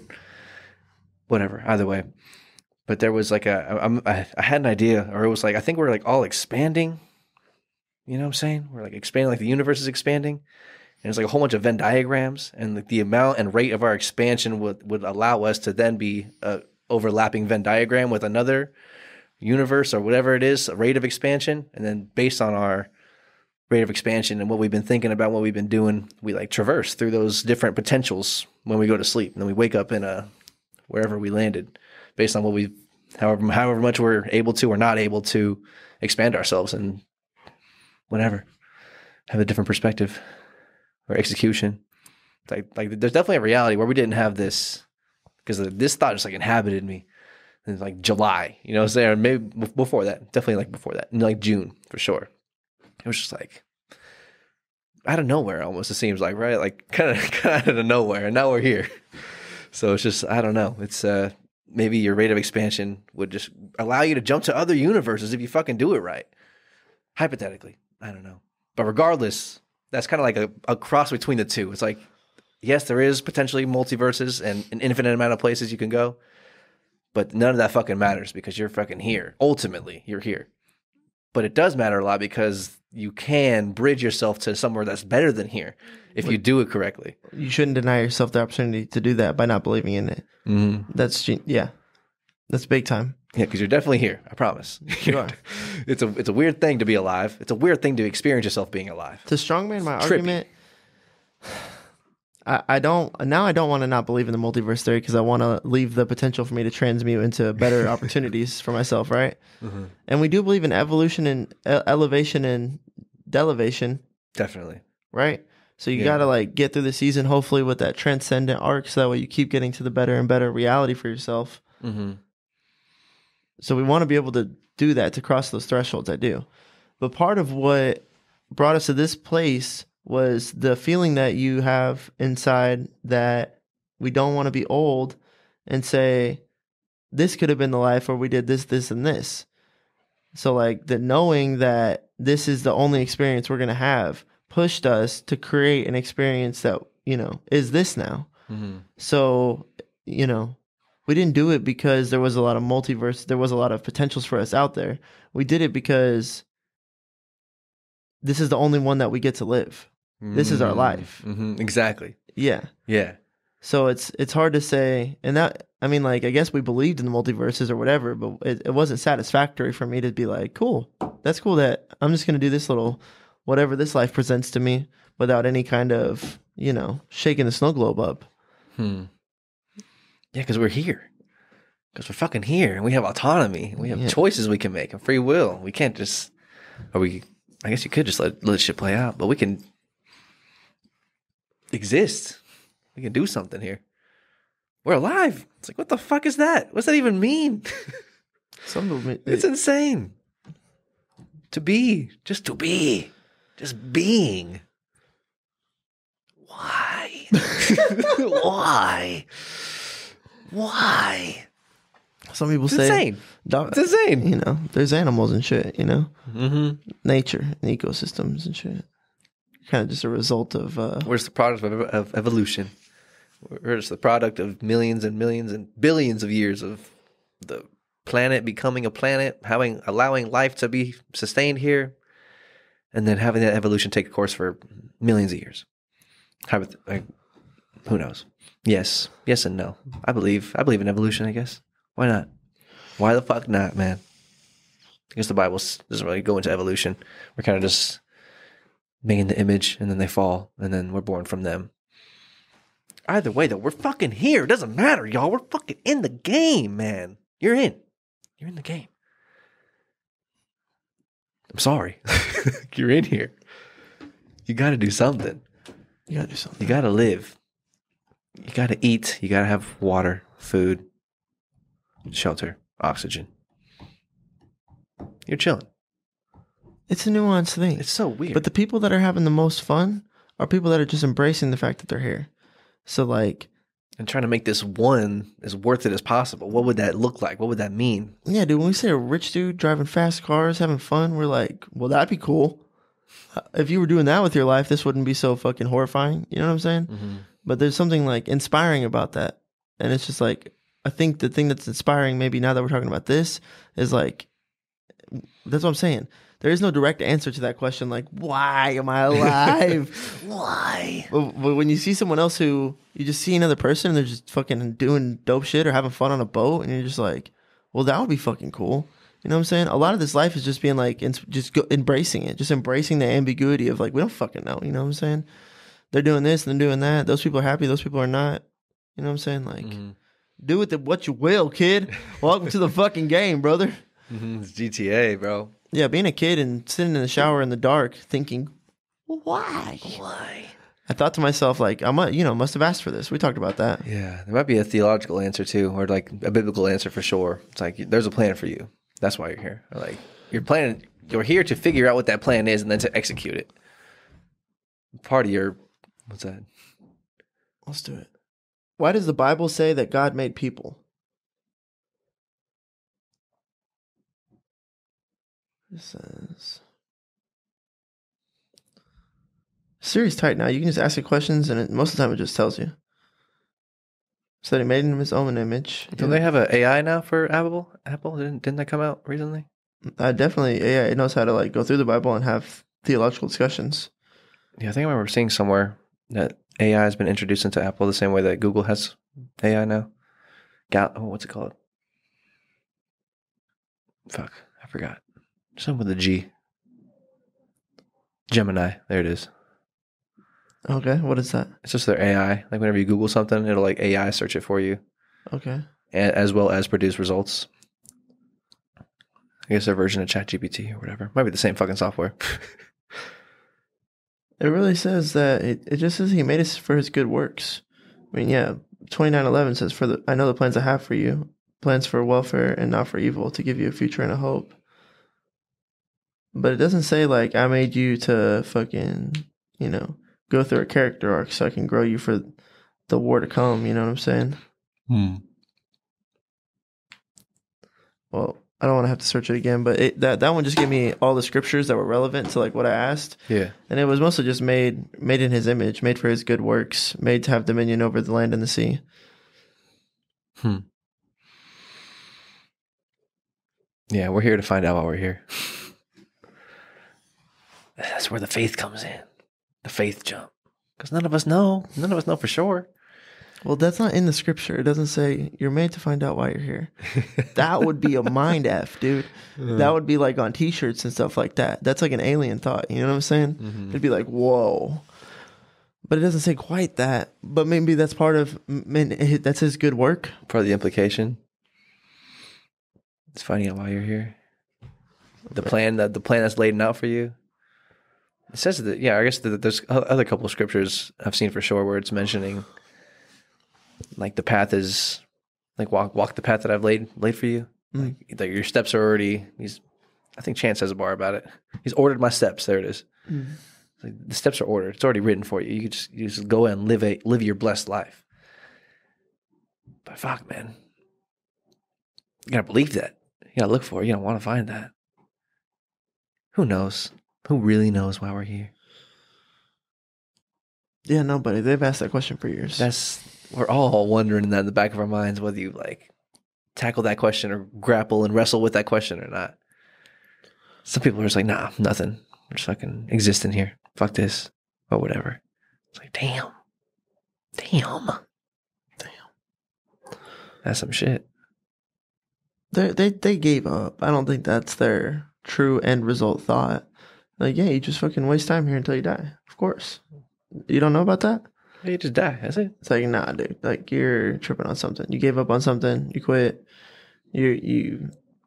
There's no way. That's all you think about it. Mm-hmm. Some people try to strike a balance. Some people think, you know what I'm saying? My life, and also life leads you places.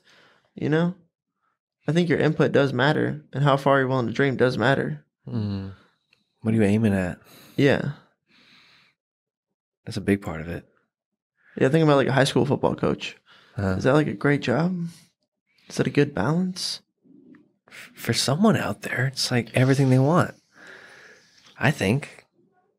Right? Is there right? There's someone out there that- that's perfect for them. It's not boats and hoes. are, are some people just destined for boats and hoes? I think they want boats and hoes. Boat and hoe destiny? That's Destiny Island. Manifest destiny. Are some people destined for boats and hoes? If that's what they're aiming at, what's what they really want? I don't know. Maybe they think they really want that. Are people destined for fame? Maybe. Maybe not. Mm, I don't know. It's we're we're getting into the to the gray area. Maybe maybe, but it also depends on you. It also depends on your input. Like like you were mentioning, it does. It definitely does. At some point, did all famous people ask to be famous? I don't think Jordan Peterson asked to be famous. Did he want the biggest platform he could get? I think he did though, right? Well, how big is that platform? You know what I'm saying? He Like, wants to write an, an impactful and meaningful book and have that book be read by as many people as possible. So in that sense, he definitely wants to be like famous yeah, or known. yeah. So that's what I'm saying is I think there's some kind of input for for that grand viewership somewhere along the line. Mm-hmm. So like, careful what you wish for. That's like a thing, you know what I'm saying? Hundred percent. Maybe I don't know. People just born to be actors or born to be musicians. Sometimes it definitely seems that way. Like Jimi Hendrix, That guy's story's crazy. that guy goes nuts. So what makes a Jimi Hendrix? fucking nuts, How do you dude. get that guy? I don't know. that's, that's a great question. don't That's the know. shit. Who Yeah. knows how you get a Jimi Hendrix or fucking Michael D'Angelo, Michelangelo? It's a good question. It could be the stars, cosmic timing, Just the timing. of zodiac things. signs. Yeah, we're trying to we're trying to explain the unexplainable. Yeah, we're getting all the way out we're always tackling the unexplainable. That's just how it goes. That's that's we're gonna wrestle with something. Wrestle with something something big. We're trying to get to the root. Yeah. Anything funny happened to you over the week? What's been going down on the week? Oh, yeah, it was your birthday weekend. Saturday we went to dinner. Fucking Don's dinner. New steakhouse in the city. Don Fantastic. Drippin, Yeah. Mad Men, Draper. Peaky Boys. New Steakhouse. Yeah, it was big chilling vibes. What else did we do this weekend or this past week? Not really. Yeah, we, we've been setting up the sheesh at the birthday weekend, and then we went to or tried to go to Six Flags yesterday and got rained on. Just a little bit of rain, nothing crazy, no thunderstorms. If there's a thunderstorm, they definitely just shut it down. Like, Really? Get the fuck out of here. I thought about that. Get the fuck out of here. I felt it raining. I was like, did they get a play period in the rain where it's like, no thunder, we're good? Yeah, yeah. It was, it was definitely coming down, but we were good. We were good to go. That's awesome. Yeah. Just what else has been? Anything funny going on? No, I'm just trying to remember anything. I guess we've been watching a lot of Game of Thrones. It's not really funny particularly, but it's fucking incredible. it's so good. It's gotten to like we're in season seven. I think it's only eight seasons, so we're in season seven now, and it's just fucking gas. It's just gas. It's like the more I'm watching it, this is probably my this is my second time watching this season, but I've seen the series other seasons multiple times. But watching this season now, it's like, oh man, this is they made this season for like the fans. Like this is like what the people wanted to see back in season one and two. It's like it's, it's finally happening. It's like, oh, this is fucking tight. Super good. Every episode, almost every scene is just like this is fucking awesome. it's it's great. It's at this point, every episode, every scene is just fucking on the edge of your seat, just watching intently. It's like, oh my god, what the fuck's gonna happen? What's? It's so good. So, so I'm watching a lot of that. But I guess uh, I guess you were t- the the word funny just brought me back to in my last week at our previous employer, is talking to some of the people. We were talking about what we were talking about? I guess we we're talking about TV shows, maybe funny TV shows. We got into comedies either way from TV shows, and then uh, Seinfeld was brought up. But that was just I remember there was one particular episode where George Costanza takes that IQ test, or he wants to take an IQ test for to like to impress some girl or some shit. But then he gets Elaine to take the IQ test for him because she's like a genius. And it's just one of the funniest fucking things I've ever seen in my life, bro. I don't know why. Like th- that particular scene where he's like just talking to his or talking to this lady and like lying to her face. Just fucking lying to her face. He's like supposed to be in her room or in like a room in her house, like taking the test, like an IQ test to verify and validate that he's doing it. But then like he gets the test back from Elaine and it got a whole bunch of shit spilled on Yeah, it. it's got coffee on it Yeah, yeah. yeah. she's like like gets the test back, gives it to her, and she's like, "What's all over this test?" He's like, "Oh yeah, I went I went, went to the store." Like, You went to the store? Yeah. He's like, "Not you didn't leave at the front door though." He's like, "Yeah, I went through the window." you went through the window to the store. Yeah. It's like, "Is this coffee?" Yeah, I, I- I stopped and got coffee too. He's just like burying himself in this lie and just so just non nonchalant, just fucking selling it, just sticking to the story, even though he's caught red handed. This that particular scene, I remember laughing harder at that scene than I've laughed at anything in a long time. I was just like, this is fucking hilarious. Really? Yeah. What was killing you about it? I don't know. Just like his his straight facedness about it. Like, he was so caught, and it was just like getting more and more like uh, preposterous. You know what I'm? Yeah. It's like I snuck out of the window to go get some fucking coffee and a pizza down the street. While I'm taking this IQ test, I got hungry. Yeah. Like what? Oh my god, yeah. I don't know why, but that was we, we were talking about funny shit, and that was that one will live in my mind. I was like, man, it's funny because it was an isolated moment, or it was like a I keep it in my memory log. You know what I'm saying? It's in my fucking database in my bank. For when you were rolling laughing I'm about like, that? yeah, yeah. Like, there's only a couple of moments, or I'm sure if I like started to dive into my own film and look through the things that were like hilarious in my lifetime, but that one for sure, that particular, watching that scene in my bed, it's like laughing my fucking ass off. I'll definitely remember that. It's, it's like categorized and logged. I guess another moment for sure is like a super bad Yeah. watching super bad in the theaters with my homies. Fucking hilarious. Just dying. Mid, 10 out of 10 in high school experience. 10 out of 10. We had to sneak into the movie. 10 out of 10. Nice. And the way we snuck into the movie was funny as fuck too, because we were trying to get someone to buy the tickets for us because we had it was rated R. We had to be 17 or 18, whatever. And we were in high school. When when that movie come out? I don't even know. We are probably like freshmen or sophomores. Maybe even earlier, maybe eighth grade. Freshman, somewhere in that ballpark. 14, 13, 14. But then we tried to get the tickets, couldn't get the fucking tickets. We ended up what did we end up doing? I think we ended up buying I think we bought tickets for another movie. Classic. And then you know what I'm saying? Then we were trying to figure out how to get into the Slash. into the super bad theater Uh-huh. out of the, all the theater options. And we was like, we're I don't even know. We had, we had almost lost hope, I think, at this point. Where it's like, man, the movie's gonna start soon. Like, what the fuck? We need to figure out how to get in there. And then there was a moment where fucking Ryan Casey, my college roommate, he's like the most meek of the group, most like quiet, chill, like calm, like the good boy of the group, more or less. And then he's like, he doesn't say anything to us. He's like takes off. He just like breaks from our group and just like starts walking down the theater hall. And then we're like, "Whoa, what the fuck's he doing?" Like he, like Ryan lost it. He lost it. He said, "I'm enough. I've had enough. I'm watching this movie." But no, no, no. He just had to go pee. Oh. it was in that moment that we realized, oh, like the movie's like right across from the theater. Or I mean, the the theater, that particular theater is right across from the restrooms. So it was like, oh shit, we just like fucking restrooms and boop boop, just go right across. So it was like perfect. It worked out perfectly. It's like, oh shit, we thought you were. We followed him into the restroom. We're like, oh yeah, man, we thought you were just broke into this motherfucker. But he's like, no, I just had to really pee. It's like, perfect. As soon as you're done, we're just gonna go hop, run, run right across. We just boop and had a great ten out of ten high school experience. Beautiful. Watching one of the funniest movies Well I've ever done, seen in my Wes. life. That's badass. The movie still holds water now. You know, the movie was Yeah. fucking hilarious. so funny, dude. Such a funny I movie. used to watch it on a loop. Just cracking up, bro. So funny. We had a great. I think we had a great high school run of funny movies coming out. We had yeah, Superbad was like one of the first ones for sure, and then the first Hangover, iconic, and Step Brothers, and Pineapple Express. So we had all those in our high school times, and it was like, oh my god, these movies are fucking awesome. Killers. just, just murderers, bro. Just some of the funniest movies of our time, yeah, at least in my opinion. I agree. That's just grand. You can't really because of the culture. It's hard to make movies that are like that fucking wild. You know?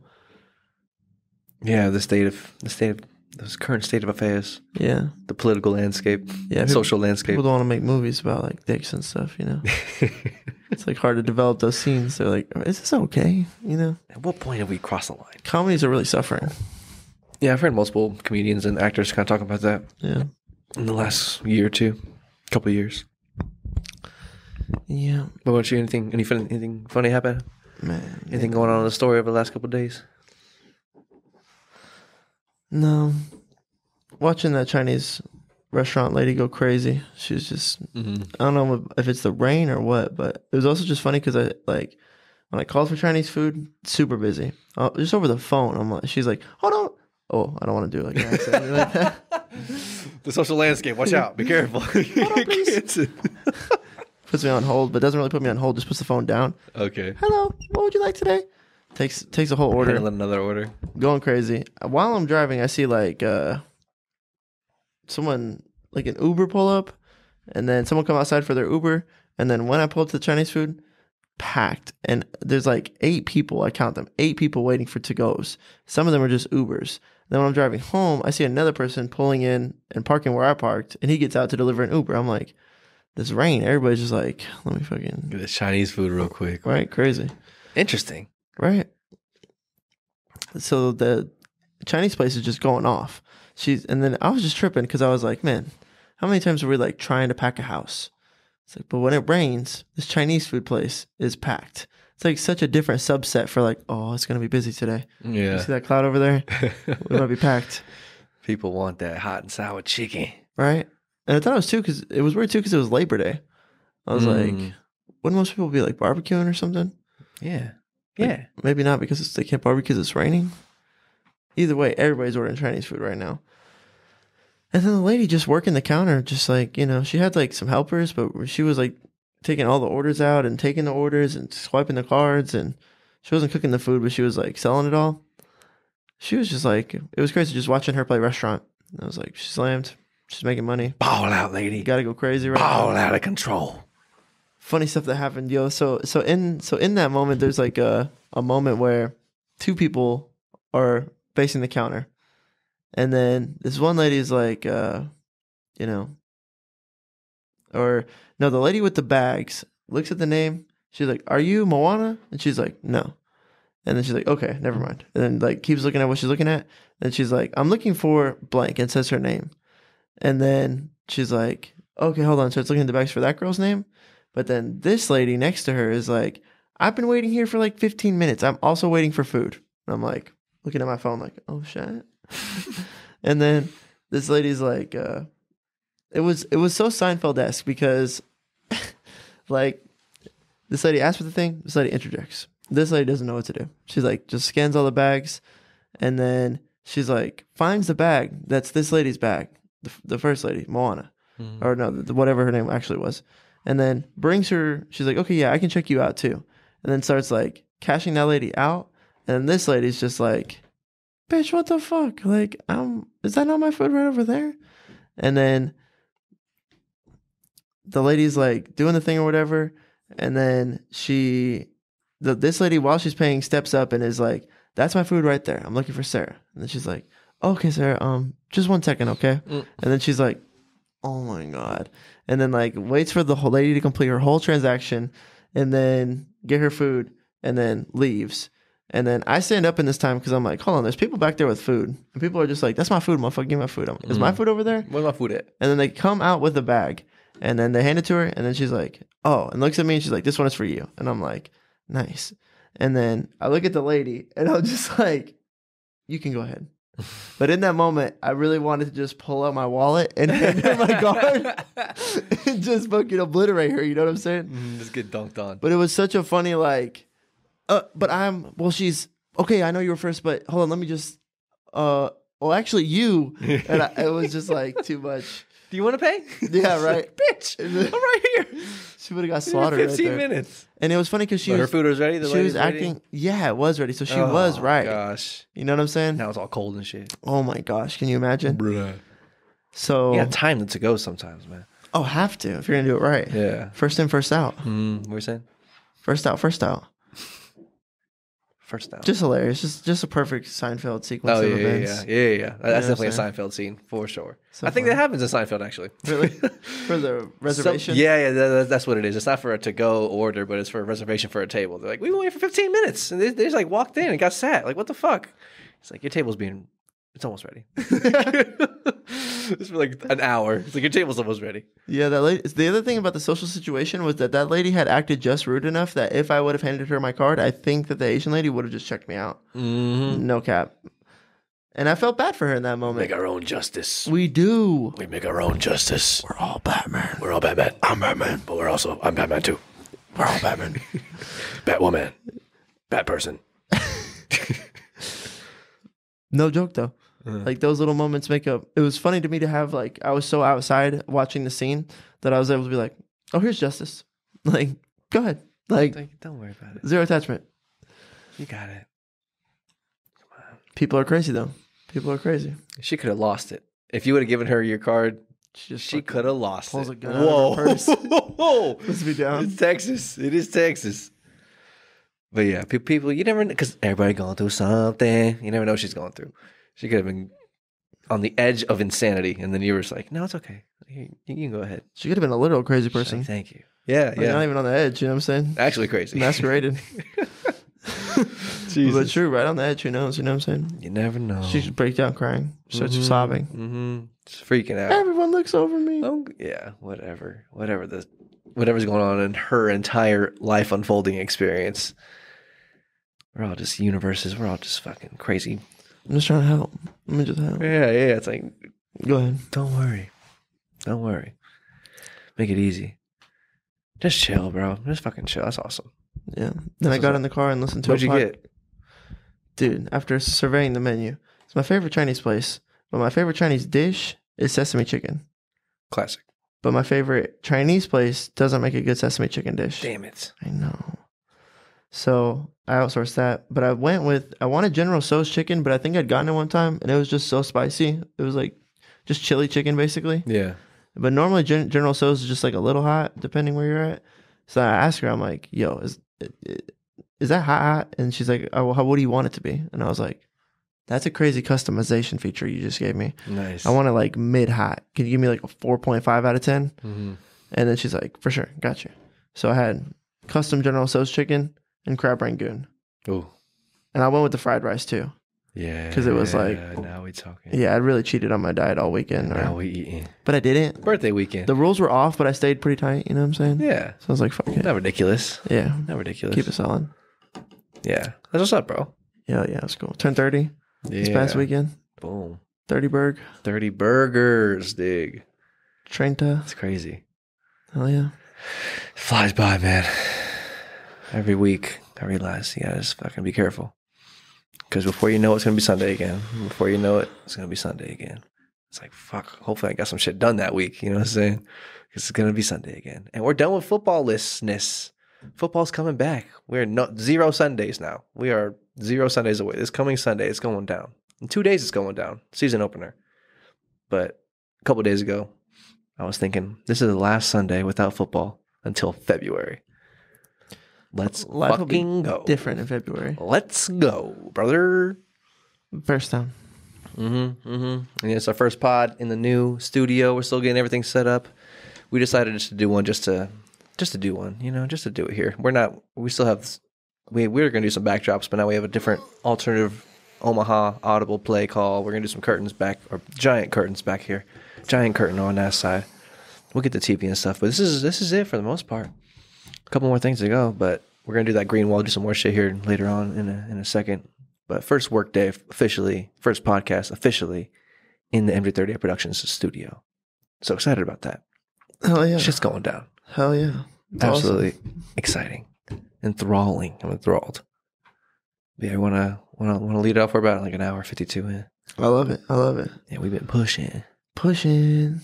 Thank you for joining in with us. Thank you for going with us on this journey. Got a lot of Appreciate real you. fans and true support. Means And, a uh, lot. Just love you guys. All the love, all the respect, all the blessings. Thanks for sticking with us through the quantum mechanics talk. we get out there. You know how we do it. You know what happens. That's who we are, baby. What we Fuck yeah. are, we're still finding out. Mm-hmm. We know who we are, but not who we may be. Well, We're still finding out. Thank you for finding out with us. Hopefully, we helped you out, entertained you, made you laugh a couple times, made you think a couple times. We'll see you on the flip side. More, th- more pods coming up, more decorations coming up, more vlogs coming out, more music, more everything. MJ38 till we die, until I'm dead, tell them Dead. deaf. deaf and dead. See you later. Rolling through the city to the light show. Really ain't no telling where